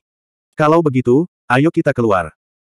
Wanita parubaya itu melambaikan tangannya dan menyapu ketiga orang dan dua binatang itu keluar jendela, mendarat di taman di luar. Wolf King segera mengaktifkan Battle Soul-nya. 377. Jiwa pertempuran apa ini? Wanita parubaya itu mengangkat kepalanya dan menatap binatang emas itu dengan sedikit keraguan di matanya. Tapi dia lebih terkejut. Karena bayangan binatang emas memberinya rasa penindasan yang sangat kuat. Matanya berkilat saat dia menundukkan kepalanya untuk melihat ke arah Wolf King. Apakah kamu sudah mengembangkan seni pertempuran? Wolf King hendak mengatakan tidak. Namun wanita parubaya itu berkata lagi, katakan yang sebenarnya, atau saya tidak tahu bagaimana mengaturnya. Wolf King berpikir sejenak dan berkata dengan jujur, saya telah mengembangkan seni pertempuran pembantaian yang unggul. Wanita parubaya itu mengangguk dan berkata, begitu, selanjutnya. Tuan gemuk dulu. Fatso maju selangkah dan tertawa, bos, bukankah kamu selalu ingin tahu jiwa pertempuran Tuan Gendut? Mengaum. Sebelum dia selesai berbicara, seluruh tubuhnya memancarkan cahaya hitam. Ditemani oleh auman naga yang keras, monster besar muncul entah dari mana. Itu adalah seekor naga. Panjangnya ratusan meter dan tubuhnya ditutupi sisik seukuran telapak tangan. Seluruh tubuhnya hitam seperti tinta, dan aura naga bergetar ke segala arah. Naga hitam. Mata Qin Fei yang bergetar. Fatso sialan ini memang telah mengaktifkan jiwa naganya. Dan itu adalah jiwa naga hitam yang sangat langka. Dia tidak bisa tidak melihat ke arah Lu Hong. Battle Soul apa yang diaktifkan gadis kecil ini? Melihat Qin Fei yang menatapnya, Lu Hong berkata dengan kecewa, saya belum menembus level Raja Pertempuran Bintang 1, jadi saya tidak bisa memanggil jiwa pertempuran saya. Qin Fei yang mengerutkan kening. Hem. Wanita parubaya itu tertegun dan melihat ke arah Lu Hong, kamu belum menembus level Battle King, bagaimana kamu bisa memiliki Battle Soul? Nyonya, Anda tidak tahu. Dia telah menembus ke level Battle King, tapi dia disakiti oleh penjahat dan meminum pil bencana spiritual, menyebabkan budidayanya menjadi lumpuh. Qin Fei yang menghela nafas. Jadi begitu. Tapi kamu tidak perlu khawatir. Bahkan jika budidayanya lumpuh, jiwa pertempurannya masih ada. Setelah budidayanya pulih, dia secara alami akan dapat memanggilnya. Wanita parubaya itu menghiburnya dan bertanya, Battle Soul apa yang kamu aktifkan? Naga putih. Kata Lu Hong. Jiwa naga yang lain. Wanita parubaya itu tercengang. Bukankah ini terlalu keterlaluan? Dua jiwa naga sebenarnya muncul sekaligus. Qin Fei yang juga terkejut. Fatso adalah jiwa naga hitam. Lu Hong adalah jiwa naga putih. Dia memiliki jiwa naga ungu emas. Dengan kata lain, ada tiga jiwa naga di tim kecil ini. Selama dia tumbuh dewasa, dia tidak perlu khawatir tidak akan membalas dendam. Namun, Qin Fei yang tahu bahwa ini semua berkat patung kaisar generasi pertama. Kalau tidak, mustahil bagi Fatso dan Luo Yunyang untuk mengaktifkan jiwa naga mereka. Dia mungkin bisa mengaktifkan jiwa naga lainnya. Bagaimanapun, kekuatan garis keturunan kaisar mengalir di tubuhnya. Namun, mustahil baginya untuk mengaktifkan jiwa naga ungu emas. Oleh karena itu, dia sangat berterima kasih kepada kaisar pertama. Qin Fei Yang, jiwa pertarungan apa yang telah kamu bangun? Wanita parubaya itu mengalihkan pandangannya dan menatap Qin Fei Yang dengan curiga. Fatso terkekeh dan berkata, jiwa pertarungan bos sungguh luar biasa. Apakah aku bertanya padamu? Qin Fei Yang memelototinya. Teratai api sembilan daun dan pedang pertarungan merah muncul satu demi satu. Namun, dia tidak memanggil jiwa naga ungu emas. Dia tidak tahu apakah tanah terlupakan berada di dalam perbatasan kekaisaran Qin besar. Oleh karena itu, dia tidak berani memanggil jiwa naga ungu emas. Meski begitu, wanita parubaya itu tetap kaget. Dia memiliki dua jiwa pertarungan. Anak muda ini jenius. Bagaimana denganmu? Wanita parubaya itu kembali memandangi Trenggiling. Saya. Trenggiling tiba-tiba menjadi canggung. Dia tersenyum malu-malu dan berkata, saya tidak memiliki jiwa pertarungan. Berikan saja saya teknik bertarung apa pun. Kamu tidak punya. Qin Fei Yang dan yang lainnya tercengang. Bukankah orang ini biasanya sombong? Mengapa dia tidak memiliki jiwa pejuang? Wanita parubaya itu juga tercengang. Dia menggelengkan kepalanya dan berkata, jika kamu tidak memiliki jiwa pejuang, itu berarti kamu tidak layak untuk diasuh. Trenggiling terkejut. Dia bertanya dengan curiga, dan, Apakah kamu idiot? Jika kamu tidak layak untuk diasuh, aku tidak akan memberimu teknik bertarung apa pun. Apa kamu tidak tahu itu? Wolf King memandang Trenggiling dengan jijik. Sedikit rasa Sadenfrude terlihat di matanya. Kamu tidak bisa melakukan ini. Trenggiling panik dan berteriak, saya mempunyai jiwa pejuang. Benarkah? Yang lainnya bingung. Kalau Trenggiling punya jiwa pejuang, kenapa dia bilang tidak punya? Wanita parubaya itu berkata, kalau begitu, cepatlah. Jangan buang waktuku. Trenggiling mengertakkan gigi. Cahaya berwarna kaki melesat ke langit. Segera, jiwa pertarungan muncul di atas kepalanya. Yang lain memandang dengan rasa ingin tahu. Mereka ketakutan. Jiwa pertarungan itu sebenarnya adalah taring. Panjangnya lebih dari 10 meter. Bentuknya ramping dan datar, warnanya kaki, dan ujungnya mengarah ke atas. Sekilas terlihat seperti ujung pedang. Trenggiling memandang Qin Fei Yang dan yang lainnya dan berkata, sudah kubilang, jangan tertawa. Haha. Akan lebih baik jika tidak dikatakan demikian. Namun, begitu mengatakan itu, Wolf King tidak bisa menahan tawa. Dia telah melihat banyak jiwa pertarungan. Namun, ini adalah pertama kalinya dia bertemu dengan jiwa pertarungan yang aneh. Pantas saja Trenggiling begitu pemalu. Tidak peduli siapa orangnya, mereka akan terlalu malu untuk memanggilnya. Qin Fei Yang dan dua lainnya tidak bisa menahan tawa juga. Jiwa pertarungan adalah sebuah taring. Ini memang suatu hal yang aneh. Trenggiling sangat marah dan meraung, saya bilang, jangan tertawa. Diam, diam. Oh, jangan seperti ini. Itu hanya jiwa pertarungan yang aneh. Kami tidak akan meremehkanmu. Lagi pula, kamu sendiri yang aneh. Pasangan yang aneh. Hehehe, pasangan yang sempurna. Saudara Wolf tertawa aneh. Serigala bajingan, aku akan melawanmu sampai mati. Trenggiling sangat marah hingga matanya merah. Jiwa pertarungan taring bergetar dalam kehampaan dan menyerbu ke arah Wolf King. Aku akan mencobanya. Apa hebatnya jiwa pertarungan anehmu? Mata Wolf King berkilat tajam. Tubuhnya langsung bertambah besar. Setelah menerobos ke Raja Pertempuran Bintang Delapan, tubuhnya kembali mengepal. Tingginya lebih dari 8 meter, seperti raksasa. Ledakan. Ia mengayunkan cakarnya dan menghantam taringnya yang tajam. Taring jiwa pertarungan langsung terlempar. Melihat ini, Murid Qin Fei Yang dan wanita parubaya itu mengerut. Mereka jelas kaget. Namun, mereka tidak terkejut dengan kekuatan Wolf King. Sebaliknya, mereka dikejutkan oleh kerasnya jiwa pertarungan taring. Seseorang harus mengetahuinya. Wolf King sekarang adalah Raja Pertempuran Bintang Delapan. Dan Trenggiling hanyalah jiwa pertarungan bintang 4. Serangan kekuatan penuh Wolf King sudah cukup untuk menghancurkan jiwa pertarungan Trenggiling dengan satu cakar. Tetapi pada saat ini, taring jiwa pertarungan sebenarnya masih utuh. Bagaimana ini mungkin? Tiba-tiba, Raja Serigala berteriak ketakutan. Semua orang memandang ke arahnya dan melihat kulit cakarnya terkoyak dan darah segar mengalir. Apa? Taring jiwa pertarungan benar-benar menerobos pertahanan Wolf King. Saat ini, tidak ada yang bisa tertawa lagi. Meski terlihat sedikit konyol, kekuatannya terlalu kuat. Mengapa kamu menyembunyikan jiwa pertarungan yang begitu kuat? Karena takut ditertawakan. Qin Fei yang mengerutkan kening. Trenggiling tersenyum malu. Baiklah, aku yakin. Qin Fei yang agak tidak berdaya. Wolf King tiba-tiba melompat dan berkata dengan marah, saya tidak yakin. Pengikut kecil, lawan saya jika Anda punya nyali. Tidak. Trenggiling menggelengkan kepalanya dengan tegas dan mendengus dingin. Seorang pria punya alasannya sendiri. Saya tidak akan menerima pertarungan tak berarti seperti ini. Seorang pria terhormat lagi. Wajah Qin Fei yang berkedut dan dia berteriak, cukup, kalian semua, tenanglah. Mereka sangat lucu. Dia berbalik menghadap wanita parubaya itu dan berkata, Nyonya, kapan Anda akan memberi kami seni pertempuran? Saat seni pertempuran disebutkan, mata Raja Serigala dan Trenggiling berbinar dan mereka menatap wanita paruh baya itu dengan penuh harap. Wanita paruh baya itu menatap mereka, menundukkan kepalanya dan merenung sejenak. Tiba-tiba, dia melambaikan tangannya dan enam batu giok muncul dari udara tipis. Sangat mudah. Qin Fei Yang dan yang lainnya saling memandang. Mereka mengira wanita ini akan memberi mereka beberapa syarat atau memberi mereka beberapa masalah sulit. Tanpa diduga, dia mengeluarkannya tanpa ragu-ragu. Ini adalah untuk Anda. Wanita parubaya itu melambaikan tangannya dan sebuah batu giok terbang menuju Wolf King dan melayang di atas tubuhnya. Wolf King segera membenamkan pikirannya ke dalam slip giok dan berkata dengan terkejut, seni pertempuran tambahan yang sempurna. Berikutnya, wanita parubaya itu melambaikan tangannya lagi dan dua batu giok terbang ke arah Fatso dan Lu Hong. Seni pertempuran pembantaian yang sempurna. Keduanya juga sangat gembira. Cepat, cepat, berikan padaku. Trenggiling memandang ke arah Fatso dan Wolf King, lalu memandang ke wanita parubaya dan mendesak dengan tidak sabar. Suara mendesing.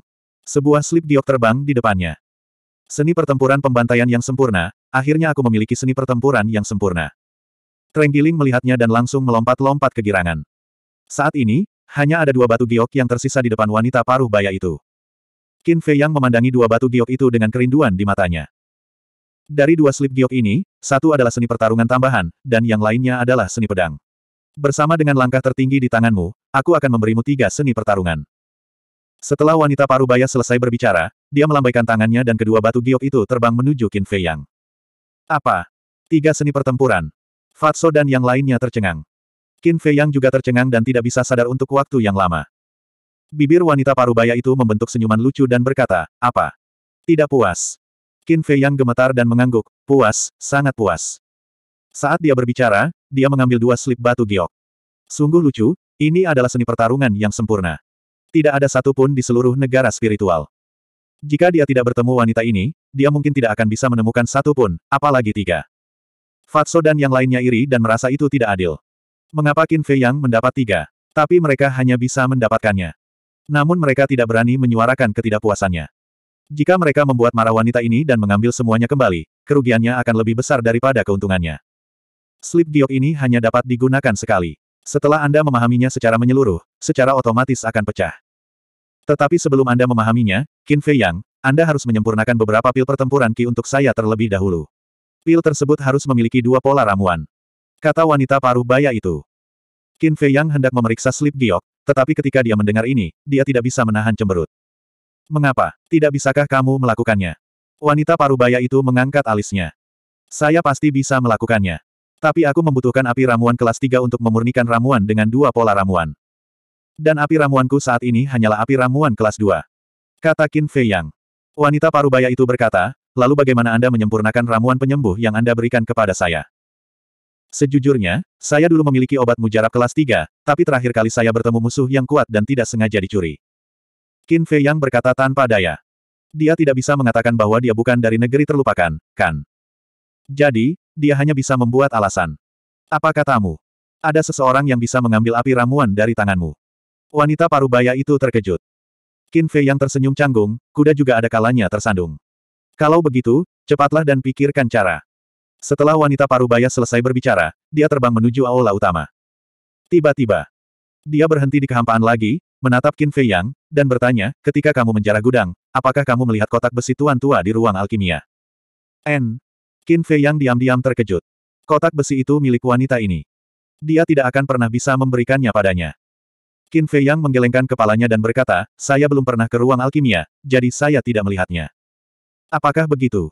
Wanita parubaya itu bertanya, dengan cahaya yang tak bisa dijelaskan berkedip di kedalaman matanya. N. Qin Fei Yang mengangguk dan menebak, mungkin terkubur di bawah reruntuhan, atau aku akan membiarkan binatang terenggiling mengebor ke dalam tanah untuk mencarinya. Lagi pula tidak perlu, itu bukan sesuatu yang berharga, tidak apa-apa jika hilang. 378. Begitu wanita parubaya itu pergi, Fatso dan yang lainnya tertawa terbahak-bahak. Mereka mengira wanita parubaya itu akan menjadi musuh bebuyutan mereka. Namun, mereka tidak menyangka bahwa dia akan memberi mereka seni pertarungan yang sempurna. Kali ini, itu benar-benar sebuah berkah tersembunyi. Mereka sungguh beruntung. Raja Serigala mencondongkan tubuh ke arah Qin Fei Yang dan berkata dengan diam-diam, Qin Zi kecil, ayo kita lari sekarang. Tidak perlu terburu-buru. Wanita itu seharusnya tidak membahayakan kita sekarang. Mari kita tunggu sampai kita mendapatkan api alkimia dari ketiga suku. Kata Qin Fei Yang, matanya bersinar. Wolf King mendesak, kalau begitu ayo cepat. Aku tidak akan merasa nyaman jika kita tetap di sini. Kalian pergi ke kastil untuk memahami seni pertempuran terlebih dahulu. Saya akan berbicara dengan ketiga pemimpin. Qin Fei Yang melambaikan tangannya dan mengirim Fatso dan yang lainnya ke kastil. Lalu dia berjalan menuju gerbang aula utama. Pada saat yang sama, Pikirannya tenggelam ke dalam dua slip batu giok. Dua informasi tiba-tiba mengalir ke benaknya. Seni pedang itu disebut teknik pedang Guyuan. Itu bisa menyingkat 99 pedang ki. Kekuatan setiap pedang ki sebanding dengan seni pertarungan yang sempurna. Tapi itu menghabiskan banyak pertempuran ki. Menurut perkiraan Qin Fei Yang, pedang ki merah di laut kinya hanya bisa memadatkan paling banyak sembilan pedang ki. Keterampilan tambahan disebut Phantom Steps. Itu juga merupakan seni pertarungan yang sempurna. Setiap langkah akan meninggalkan ilusi yang dapat membingungkan mata lawan. Dalam pertarungan sebenarnya, itu bisa memainkan peran kunci. Setelah beberapa saat, Qin Fei Yang menarik kembali pikirannya dan menyingkirkan tiga slip giok. Langkah hantu. Teknik pengembalian batal. Teknik pedang Gu Yuan. Dia tidak menyangka akan mendapatkan tiga battle art yang sempurna di perjalanan ini. Seperti pepatah lama, dunia tidak dapat diprediksi. Awalnya, dia masih membenci wanita tua jelek itu. Tapi sekarang, dia juga memiliki sedikit rasa terima kasih di hatinya. Jika bukan karena wanita tua jelek yang memaksanya datang ke tanah terlupakan, bagaimana dia bisa mendapatkan kesempatan seperti itu? Segera, Qin Fei yang datang ke gerbang depan aula utama. Ketiga pemimpin itu berdiri dengan hormat di luar gerbang. Ketika para penjaga melihat mereka, mata mereka penuh dengan rasa sombong. Batuk. Qin Fei yang melirik mereka dan terbatuk-batuk. Langsung. Semua orang mengangkat kepala dan menatapnya dengan mata dingin. Qin Fei Yang tersenyum tipis dan berkata, sekarang kita berada di pihak yang sama, tidak perlu terlalu bermusuhan. Siapa yang ada di pihakmu? Ketiga pemimpin dan kelompok penjaga saling melotot. Qin Fei Yang menggelengkan kepalanya dan langsung mengabaikannya. Dia menghampiri ketiga pemimpin itu dan berkata sambil tersenyum, saya ingin meminta bantuan Anda. Pak tua kulit ular berkata dengan tegas, jika ada yang ingin kau katakan, katakan saja. Qin Fei Yang berkata, segera kembali dan nyalakan semua api alkimiamu. Sungguh tidak masuk akal. Beraninya mereka merancang api alkimia kita. Jangan melangkah terlalu jauh. Kamu ingin api alkimia? Tidak mungkin. Mereka bertiga berteriak dengan marah. Mereka sangat marah hingga asap keluar dari kepala mereka. Nyonya dan saya adalah rekan, tetapi Anda adalah budak Nyonya. Apakah Anda tidak takut Nyonya akan marah jika berbicara seperti ini kepada saya? Qin Fei yang bercanda. Wanita tua itu berkata, Nyonya masuk akal. Dia pasti tidak akan membantu Anda mengamuk. Saya tidak mengamuk. Saya ingin api alkimia Anda membantu Nyonya memurnikan pil. Jika Anda tidak memberikannya kepada saya, saya hanya bisa mencari Nyonya. Qin Fei yang tertawa. Saya tidak percaya. Kata wanita tua itu dengan marah. Mulai hari ini dan seterusnya, Qin Fei yang adalah tuan mudamu. Kata-katanya setara dengan kata-kataku. Siapa pun yang berani membangkang akan dibunuh tanpa ampun. Saat ini, suara wanita parubaya itu terdengar dari lantai dua. Apa? Tuan muda. Sekelompok penjaga membuka mata lebar-lebar karena marah dan tidak percaya. Belum lama ini, Qin Fei yang masih menjadi musuh nyonya. Namun, dalam sekejap mata, dia telah menjadi tuan muda mereka. Wajah ketiga pemimpin itu menjadi semakin jelek. Mereka, Kaisar Perang Bintang Tiga, telah menjadi budak. Tapi Qin Fei yang ini, yang hanya seorang raja pertempuran, sebenarnya sangat dihargai oleh nyonya. Apa bagusnya anak ini? Bukankah dia berbakat dan tahu cara mengolah pil? Selain itu, apa lagi yang dia punya? Tuan, saya tidak akan menerimanya. Wanita tua itu berteriak. Jika kamu tidak menerimanya, matilah. Suara dingin wanita paruh baya itu keluar. Saat ini, tubuh wanita tua itu retak dan darah berceceran di mana-mana, seolah hendak meledak. Ah! Wanita tua itu berteriak dan buru-buru berlutut di tanah dan memohon, Guru, mohon ampuni hidup saya. Saya salah. Saya tidak akan berani menolak lagi. Ingat apa yang kamu katakan hari ini. Jika ada waktu berikutnya, kamu akan dibunuh tanpa ampun. Wanita parubaya itu berkata dengan niat membunuh yang menusuk tulang. Setelah kata-kata itu, luka berdarah di tubuh wanita tua itu juga berhenti. Terima kasih, Tuan, karena tidak membunuhku. Setelah wanita tua itu mengucapkan terima kasih, dia segera menelan pil penyembuh. Kemudian, dia berbalik dan menatap Qin Fei Yang. Dia berlutut di depan Qin Fei Yang dan membungkuk, Salam, Tuan Muda. Salam, Tuan Muda. Pria kekar, patua kulit ular, dan sekelompok penjaga semuanya berlutut di tanah. Tuan Muda. Qin Fei Yang tercengang. Dia masih belum terbiasa dengan identitas yang tiba-tiba muncul ini. Uhuk-uhuk. Bangun. Biarkan yang lalu berlalu. Biarkan yang lalu berlalu. Semua orang akan saling membantu dan mendukung di masa depan. Qin Fei Yang tersenyum. Iya, semua orang membungkuk sebagai jawaban, lalu bangkit dan berdiri dengan hormat di samping. Qin Fei Yang berkata, tiga pemimpin, saya harus merepotkan Anda untuk melakukan perjalanan. Pergi dan cepat kembali. Iya. Kami akan segera mengambil api alkimia. Bagaimana ketiganya berani mengajukan keberatan? Mereka buru-buru berlari ke langit dan berubah menjadi aliran cahaya, menerobos langit seperti kilat. Qin Fei Yang tampak tenang di permukaan, tetapi hatinya cukup gugup. Jika api alkimia dari ketiga suku semuanya adalah api alkimia kelas 1, maka itu tidak ada artinya. Jangan biarkan aku bahagia tanpa alasan. Di tengah penantian yang tak ada habisnya, ketiga pemimpin itu akhirnya kembali satu jam kemudian. Suara mendesing. Mereka bertiga mendarat di depan Qin Fei Yang dan mempersembahkan api alkimia dengan kedua tangan, berkata dengan hormat terimalah, Tuan Muda. Ada penghalang battle key di sekitar tiga api alkimia, jadi mereka tidak bisa merasakan panas sedikit pun. Buka penghalangnya. Mata Qin Fei yang berbinar. Iya. Mereka bertiga menggerakkan pikiran mereka, dan penghalang itu langsung runtuh. Gelombang panas terik langsung melonjak ke segala arah seperti banjir besar. Meski panas, namun masih bisa ditoleransi. Qin Fei yang melambaikan tangannya, menyapu tiga api alkimia dan memasuki kastil kuno. Fatso dan yang lainnya fokus untuk memahami seni pertempuran. Hanya Lu Hong yang tidak, karena dia belum mencapai level Battle King, jadi dia tidak bisa memahaminya. Aku tidak menyangka wanita itu akan menjadikanmu tuan muda. Jika kamu tetap di sini, masa depanmu tidak akan terbatas. Lu Hong berdiri dan menggoda. Aku pikir juga begitu. Qin Fei yang tersenyum. Apakah kamu memperhatikan bahwa wanita itu sama persis seperti kamu dulu? Kata Lu Hong. Benarkah? Qin Fei yang tercengang. Iya.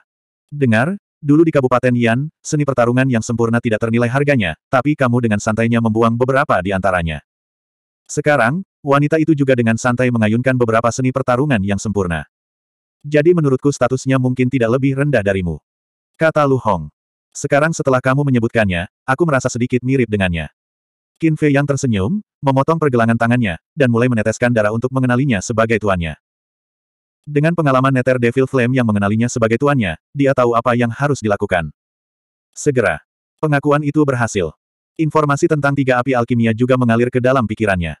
Bagaimana itu? Lu Hong bertanya. Hanya ada satu api alkimia kelas 2. Dia melambaikan tangannya, dan api alkimia kelas 2 terbang menuju Nether Devil Flame. Api iblis Nether juga terbangun dengan sendirinya dan mulai melahap api alkimia. Dua api alkimia yang tersisa tidak diragukan lagi adalah api alkimia kelas 1.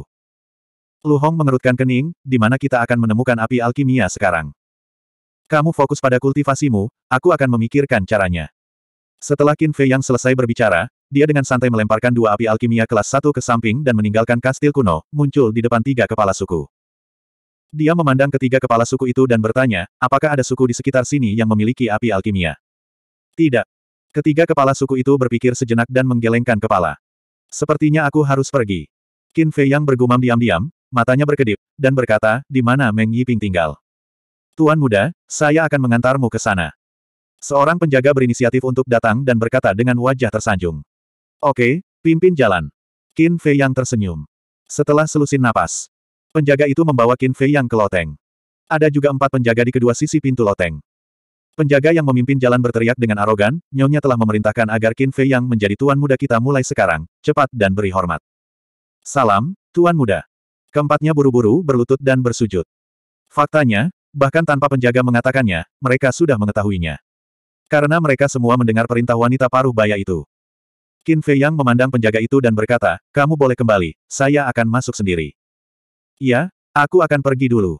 Penjaga itu lari dengan penuh semangat. Sombong sekali. Mata Qin Fei Yang dipenuhi dengan jijik. Dia berbalik dan melangkah ke loteng, memasuki ruang resepsi.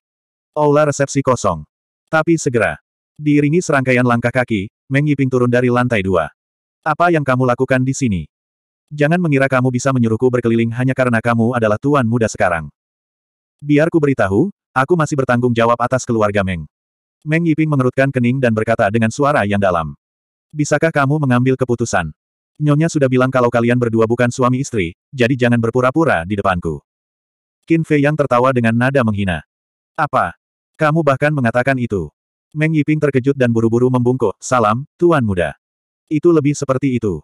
Qin Fei yang tertawa dingin dan bertanya, apakah Anda tahu koordinat suku Si Yang dan kota Sky Thunder? Bawahan ini tahu. Meng Yiping mengangguk. Beritahu saya. Kata Qin Fei Yang. Meng Yiping mengerutkan kening dan bertanya, bolehkah saya bertanya, Tuan Muda, apakah Anda mendapat izin nyonya? Bagaimana menurutmu? Qin Fei Yang mencibir. Mata Meng Yiping bergetar saat dia buru-buru memberitahukan koordinat kota Guntur Langit dan suku Siang. Langit tidak mengecewakan mereka yang bekerja keras. Akhirnya aku dapat koordinatnya. Ayo cepat pergi. Qin Fei yang bergumam, tanpa ragu-ragu, dia mengeluarkan gerbang teleportasi dan dengan cepat membukanya. Kemudian, di bawah tatapan hormat Meng Yiping, dia melangkah masuk. Ketika gerbang teleportasi menghilang, wajah Meng Yiping langsung berubah. Awalnya, dia ingin membalas dendam pada ayahnya, tetapi dia tidak menyangka Qin Fei yang benar-benar menjadi tuan muda. Ayah, putramu tidak berbakti, aku tidak bisa membalas dendam padamu. Dia menundukkan kepalanya dan mengatupkan matanya rat-rat. Matanya dipenuhi rasa sakit. Itu tidak benar. Tiba-tiba, Meng Yiping tiba-tiba mengangkat kepalanya, matanya bersinar. Qin Fei yang baru saja menjadi tuan muda, mengapa dia terburu-buru pergi ke kota langit guntur dan suku Siang? Ada masalah. 379 Begitu dia tiba di pintu masuk aula utama, tuan keluarga Meng memandang ketiga pemimpin itu dan bertanya, apakah Qin Fei yang mendapatkan izin nyonya untuk pergi ke kota Sky Thunder dan suku Siang? Hem. Apa katamu? Dia pergi ke Sky Thunder Pool dan suku Siang. Ketiga pemimpin itu terkejut. Kamu tidak tahu. Tuan keluarga Meng mengerutkan kening. Kami tidak tahu. Saat dia berbicara dengan Nyonya, kami tidak ada di sana. Kami tidak tahu apakah Nyonya setuju. Ketiga pemimpin itu menggelengkan kepala. Pergi dan tanyakan. Cahaya dingin melintas di mata tuan keluarga Meng. Mereka berempat berlari ke lantai dua, berdiri di depan pintu ruang tunggu, dan dengan lembut mengetuk pintu. Masuk. Suara wanita paruh baya terdengar. Mereka berempat membuka pintu dan berjalan ke meja teh. Mereka menangkupkan tangan dan berkata, Salam, Nyonya. Wanita paruh baya itu berkata, saya mendengar semua yang Anda katakan di bawah. Dia pergi ke kota Sky Thunder dan suku Zi yang tanpa izin saya. Mereka berempat saling memandang, dan cahaya dingin muncul di mata mereka. Nyonya, dia terlalu bodoh. Mari kita bunuh dia. Benar, kita tidak bisa membiarkan orang seperti itu hidup. Mereka berempat menangkupkan tangan dan berkata. Wanita parubaya itu melambaikan tangannya dan berkata, tidak masalah. Biarkan dia pergi. Mereka berempat tercengang. Orang yang hidup di alam bebas lebih mudah ditempa. Wanita parubaya itu berkata sambil tersenyum penuh arti. Apa maksudmu? Mereka berempat bingung. Jangan khawatir tentang hal itu. Dia tidak bisa melarikan diri. Selama aku mau, Aku bisa menemukannya kapan saja. Ngomong-ngomong, aku akan memperingatkanmu. Jangan sentuh dia lagi. Kalau tidak, aku tidak akan melepaskanmu dengan mudah. Apakah kamu mengerti? Wanita parubaya itu melirik mereka berempat. Matanya yang dingin membawa tekanan yang besar. Kami mengerti. Mereka berempat berkata dengan hormat. Kamu boleh pergi. Wanita parubaya itu melambaikan tangannya dan berkata. Kami akan pergi. Mereka berempat membungkuk dan pergi. Kamu ingin melarikan diri setelah mendapatkan battle art. Apakah ada hal yang bagus? Tumbuhlah dengan cepat. Saat kamu benar-benar bisa membantuku, aku akan mencarimu. Wanita parubaya itu melihat keluar jendela dan bergumam pada dirinya sendiri. Matanya bersinar dengan cahaya aneh. Salju tebal berputar-putar di udara, dan angin dingin menusuk tulang. Qin Fei yang muncul dari udara tipis di gletser tempat binatang buas berkeliaran. Di mana ini? Dia melihat sekeliling dengan curiga. Mengaum. Ketika dua binatang buas di dekatnya melihatnya, mereka memperlihatkan taring tajam mereka dan menerkam ke arahnya. Qin Fei yang menoleh. Kekuatan kedua binatang buas itu tidak biasa. Salah satunya adalah Raja Pertempuran Bintang 4. Yang lainnya adalah Raja Pertempuran Bintang 5. Suara mendesing. Dia tidak memperhatikannya dan menggunakan wind reading steps untuk bergegas menuju gunung es. Ketika kedua binatang buas itu melihat kecepatannya, mata mereka melebar dan mereka segera berbalik untuk melarikan diri. Gunung es itu berada beberapa ratus meter di depan mereka, dan tingginya beberapa ratus meter. Sesaat kemudian, Qin Fei yang naik ke puncak gunung es dan melihat sekeliling. Di sebelah barat, utara, dan selatan, terdapat gletser yang tak ada habisnya. Di timur, di ujung gletser, ada sebuah kota kuno. Namun, karena jaraknya terlalu jauh, dia tidak dapat melihatnya dengan jelas. Setelah merenung sejenak, mata Qin Fei yang berkedip sedikit dan dia memasuki kastil kuno. Dia akan memikirkannya setelah dia memahami tiga seni pertempuran. Dua hari kemudian, Wolf King dan Fatso membuka mata mereka satu demi satu. Gulungan batu giok di depan mereka juga hancur berkeping-keping. Wolf King berkata dengan heran, ah, kamu sudah memahaminya juga. Omong kosong, apa kamu tidak tahu siapa tuan gendut itu? Fatso tersenyum bangga dan bertanya dengan rasa ingin tahu, Saudara Wolf, apa nama seni pertarunganmu? Wolf King berkata, Void Escape Steps. Bagaimana denganmu? Hindari langkah melarikan diri. Nama yang kuno. Wajah Fatso penuh dengan penghinaan. Dia memutar matanya dan berkata, seni pertarungan Tuan Gemuk disebut teknik naga hitam. Bagaimana? Mendominasi, kan? Cek. Mata Wolf King penuh dengan penghinaan. Kamu cemburu. Fatso terkekeh dan berkata, bagaimana kalau kita jalan-jalan? Kakak juga punya ide yang sama. Raja Serigala mengangguk. Saat ini, Qin Fei Yang juga membuka matanya, dan gulungan batu giok di tangannya hancur. Void Returning Art, berhasil dipahami. Dia memandang Fatso dan Wolf King, dan berkata, kamu boleh keluar, tapi kamu tidak bisa bertindak sembarangan. Wolf King tertawa, jangan khawatir, kami hanya akan berlatih seni bertarung kami. Qin Fei Yang benar-benar ingin mengatakan, dengan kalian berdua, siapa yang akan merasa nyaman. Tapi sekarang, dia tidak punya waktu untuk berbicara omong kosong dengan mereka. Dengan lambaian tangannya, dia mengirim Fatso dan Wolf King keluar dan terus memahami seni pedang Guyuan. Seni pertarungan yang sempurna bukanlah sesuatu yang bisa dibandingkan dengan seni pertarungan tingkat rendah. Saat itu, Qin Fei yang baru memahami langkah angin kekaisaran dan telapak angin dingin selama kurang dari satu jam. Dan sekarang, Seni pertempuran yang sempurna membutuhkan waktu dua hari penuh. Jika dia tidak membuka gerbang potensi tingkat ketiga, tidak peduli betapa berbakatnya dia, itu akan memakan waktu dua hingga tiga tahun. Empat hari kemudian, ketika dia membuka matanya lagi, dia telah sepenuhnya memahami seni pedang Yuan dan langkah hantu. Merasakan gerakan tersebut, Trenggiling membuka matanya dan menatap Qin Fei Yang dengan heran, bertanya, semua sudah selesai.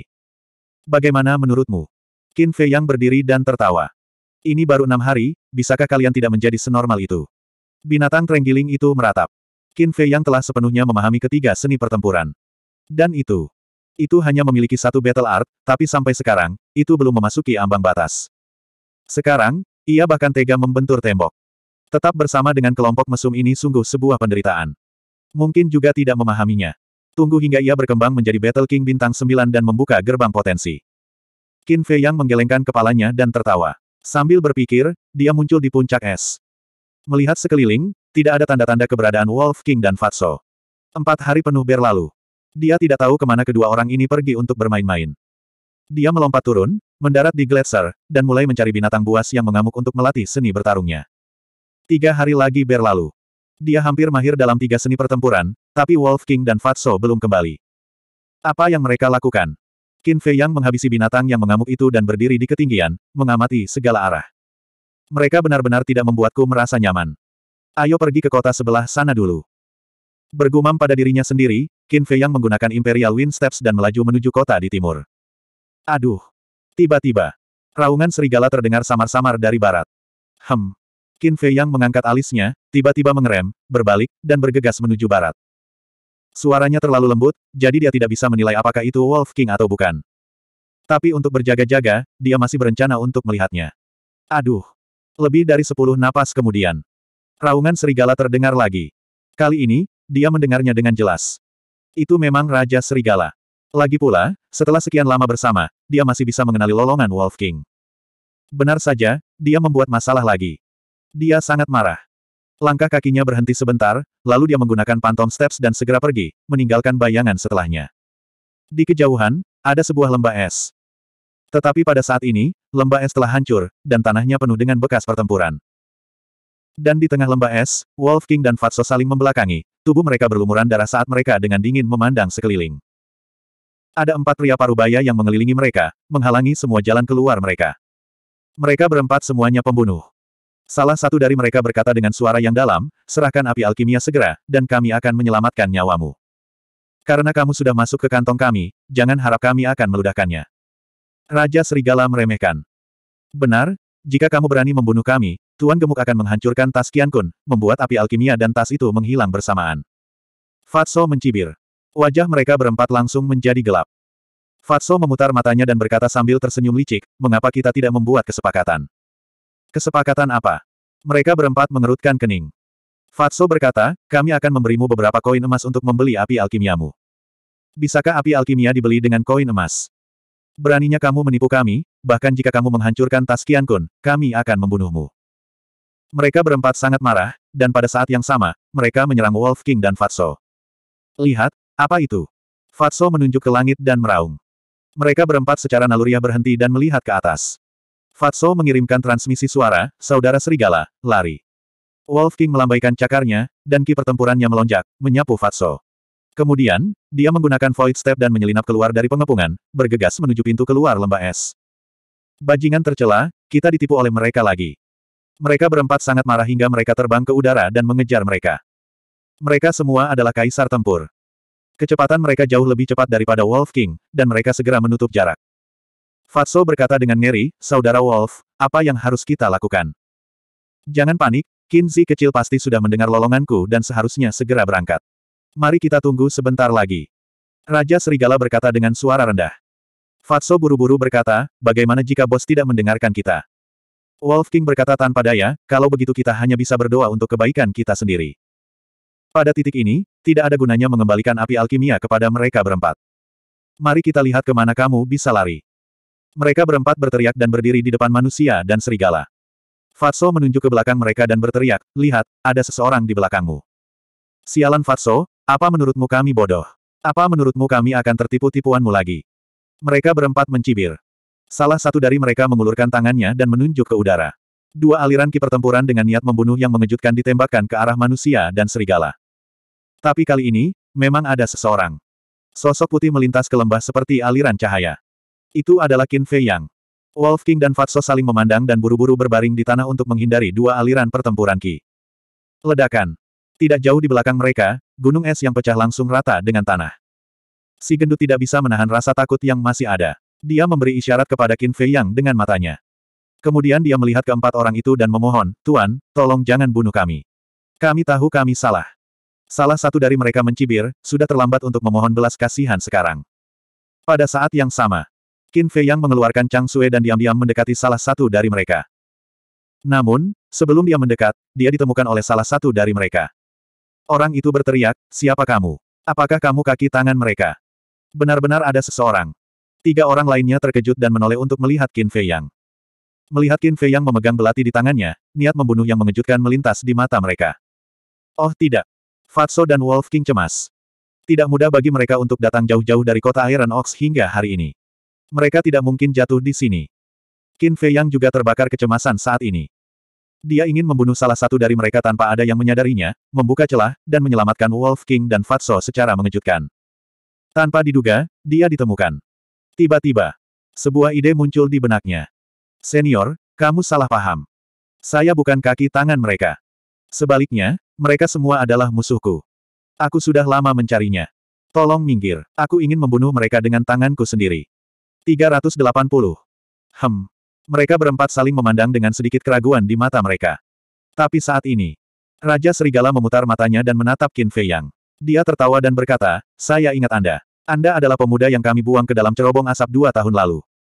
Dibuang ke dalam lubang pembuangan. Fatso memandang Wolf King dengan curiga. Namun dalam sekejap, dia tiba-tiba sadar.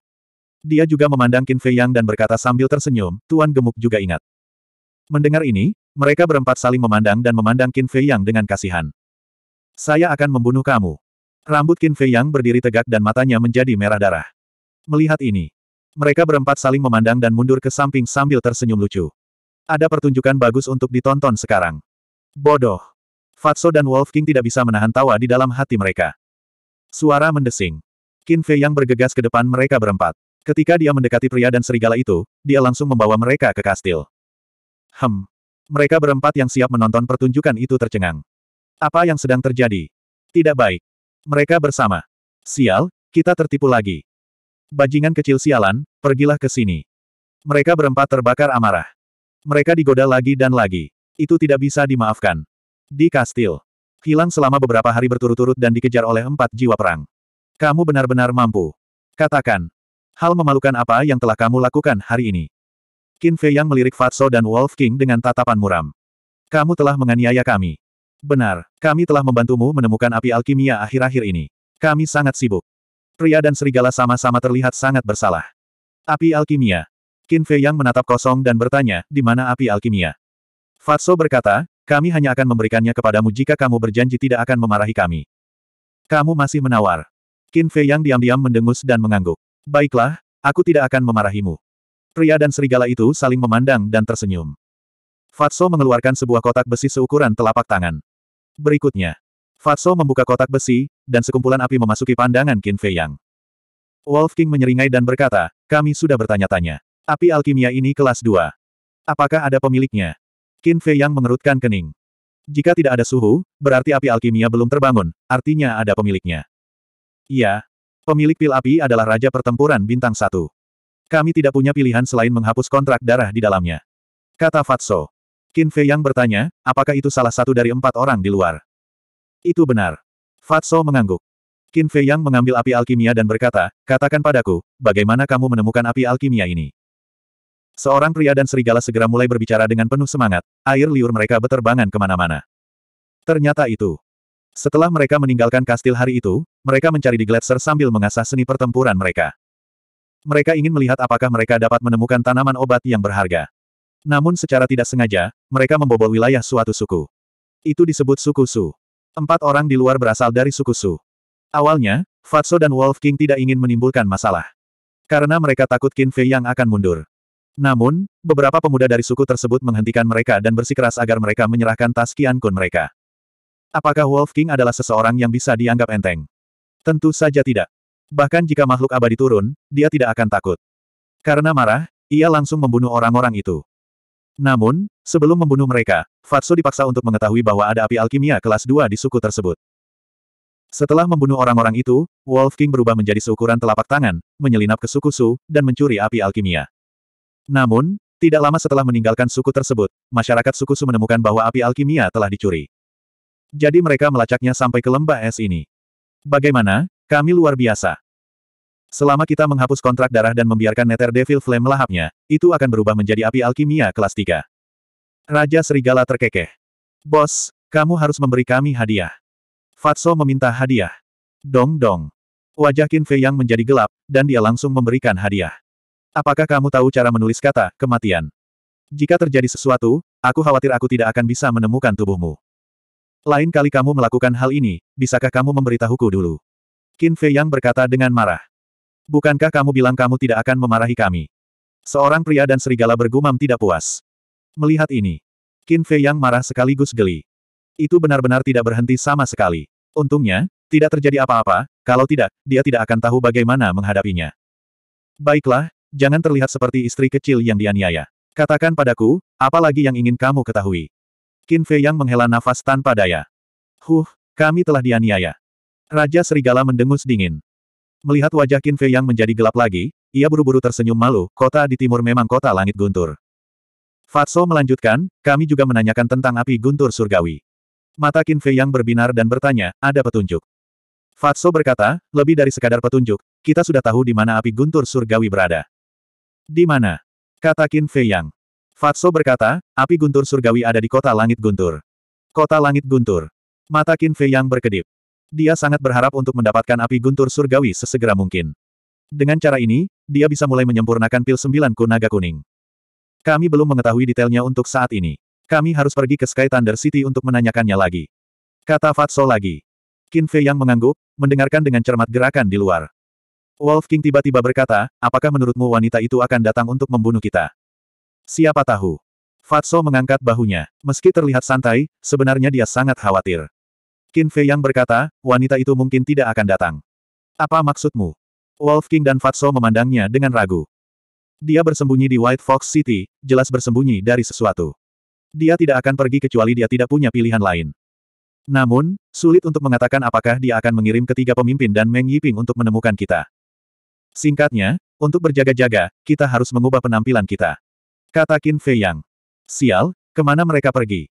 Saya kehilangan kontak dengan Dan Huo. Mereka mungkin melarikan diri. Lolos. Tidak mungkin, kecuali mereka bisa berteleportasi. Kalau begitu beritahu aku, di mana mereka? Keempat pria parubaya berdiri di udara di atas lembah es, mencari di setiap sudut, tetapi tidak dapat melihat Qin Fei Yang dan yang lainnya. Mereka tidak bisa menahan diri untuk tidak bertengkar. Oke, oke, berhentilah bertengkar. Ayo pergi ke Sky Thunder City untuk bertanya, aku tidak percaya mereka akan menghilang begitu saja. Salah satu dari mereka berteriak, cahaya dingin bersinar di matanya. Selesai. Dia mengulurkan jari telunjuknya dan menunjuk ke udara. Ki pertempuran yang cerah meledak ke lembah es di bawah. Ledakan. Diiringi dengan suara yang menggemparkan bumi, lembah es itu langsung rata dengan tanah. Mereka berempat mengamati bagian bawah lagi, memastikannya berulang kali sebelum pergi. Serigala bermata putih, fokuslah pada budidaya. Qin Fei yang mengingatkan dan meninggalkan kastil bersama Fatso. Di antara sedikit dari mereka, kecepatan kultivasi Qin Fei yang adalah yang tercepat. Namun, dia harus meniru karakter battle, sehingga kecepatannya diperlambat. Lalu sekarang, Wolf King adalah yang tercepat. Jadi, dia berharap Wolf King bisa menerobos ke ranah Kaisar Perang secepat mungkin. Dengan Kaisar Perang yang mengawasi berbagai hal, dia bisa menjadi lebih berani di masa depan. Setelah sedikit mengubah penampilannya, Qin Fei Yang dan Fatso melaju menuju kota Sky Thunder. Namun, Fatso sepertinya ingin mengatakan sesuatu di sepanjang jalan. Beberapa ratus napas berlalu. Keduanya berjalan keluar dari Gletser dan kota Sky Thunder memasuki pandangan mereka. Skala kota Sky Thunder tidak terlalu besar, hampir sama dengan kota Yan. Namun, tidak ada sedikit pun salju di tembok kota, termasuk bangunan-bangunan di kota tersebut. Ini agak aneh. Orang harus tahu bahwa saat itu sedang turun salju lebat. Bahkan jika seseorang membersihkannya, itu tidak akan sebersih itu. Dan dilihat dari jauh, di tengah kota, terdapat sebuah menara kuno yang tingginya ratusan kaki. Itu seperti gunung yang menjulang tinggi, memancarkan aura agung dan kuno. Ayo pergi. Qin Fei Yang melirik menara kuno, mengalihkan pandangannya, memanggil Fatso, dan berjalan menuju gerbang kota. Fatso mengerutkan kening, mengertakkan gigi dan berkata, Bos, ada sesuatu yang ingin saya bicarakan dengan Anda. Apa? Qin Fei yang berhenti dan berbalik menatapnya dengan bingung. Fatso berkata, sebaiknya jangan pergi kali ini, Tuan Gendut. Apa yang salah? Qin Fei yang bahkan lebih bingung, dan bertanya, apakah kamu takut? Lelucon apa, Tuan Gendut akan takut? Sejujurnya, Tuan Gemuk sebenarnya ingin mengasingkan diri. Dengar, kamu sekarang adalah Raja Perang Bintang 7, saudara Wolf adalah Raja Perang Bintang 8, dan aku hanya Raja Perang Bintang 5. Kesenjangannya terlalu besar. Bakatmu juga lebih baik daripada Tuan Gemuk. Jika kamu tidak bekerja keras, jarak antara kamu dan Tuan Gemuk akan semakin besar. Dan hari ini, jika kamu tidak datang tepat waktu, Tuan Gendut dan Saudara Serigala akan berada dalam masalah besar. Tuan Gemuk sekarang sangat menyadari bahwa kekuatan kita masih jauh dari cukup. Fatso menghela nafas. Ah! Qin Fei yang sangat terkejut. Orang ini juga tahu bagaimana menjadi cemas. Ini hal yang bagus. Saya hanya khawatir beberapa dari Anda hanya tahu cara bermalas-malasan sepanjang hari dan tidak berkultivasi. Baiklah, jangan khawatir dan pergilah berkultivasi. Saya akan memikirkan cara untuk mengatasi api guntur surgawi. Qin Fei yang tersenyum. Fatso terkekeh dan berkata, terima kasih bos. Jika kamu terlalu sibuk, panggil saja Fat Lord. Qin Fei yang mengangguk, melambaikan tangannya, dan mengirim Fatso ke kastil kuno. Lalu, Sambil tersenyum, dia berjalan menuju gerbang kota. Di Kabupaten Yan, apakah itu dirinya, Fatso, atau Lu Hong, mereka semua masih remaja di bawah umur. Wolf King juga masih anak-anak pada waktu itu. Saat itu, Fatso, Lu Hong, dan Wolf King sama sekali tidak mengetahui apa tanggung jawabnya. Namun seiring berjalannya waktu, mereka semua menjadi dewasa, berakal sehat, dan bertanggung jawab. Di masa depan, nama mereka ditakdirkan untuk menjadi legenda di Kekaisaran Qin Besar. Saudaraku, apa kabar? Gerbang kota sudah dekat, tapi tiba-tiba, seseorang menepuk bahu Qin Fei Yang dari belakang. Qin Fei Yang mengumpulkan pikirannya dan menoleh untuk melihat. Dia melihat seorang pemuda berusia 17 atau 18 tahun dengan kulit harimau menatapnya sambil tersenyum. Dia tampak sangat cerdas dan membuat orang merasa akrab. Selain pemuda berkulit harimau, ada seorang remaja putri berkulit bulu. Kulitnya lebih putih dari salju, rambutnya hitam dan indah, dan matanya yang cerah sebening cermin. Seluruh tubuhnya dipenuhi aura halus.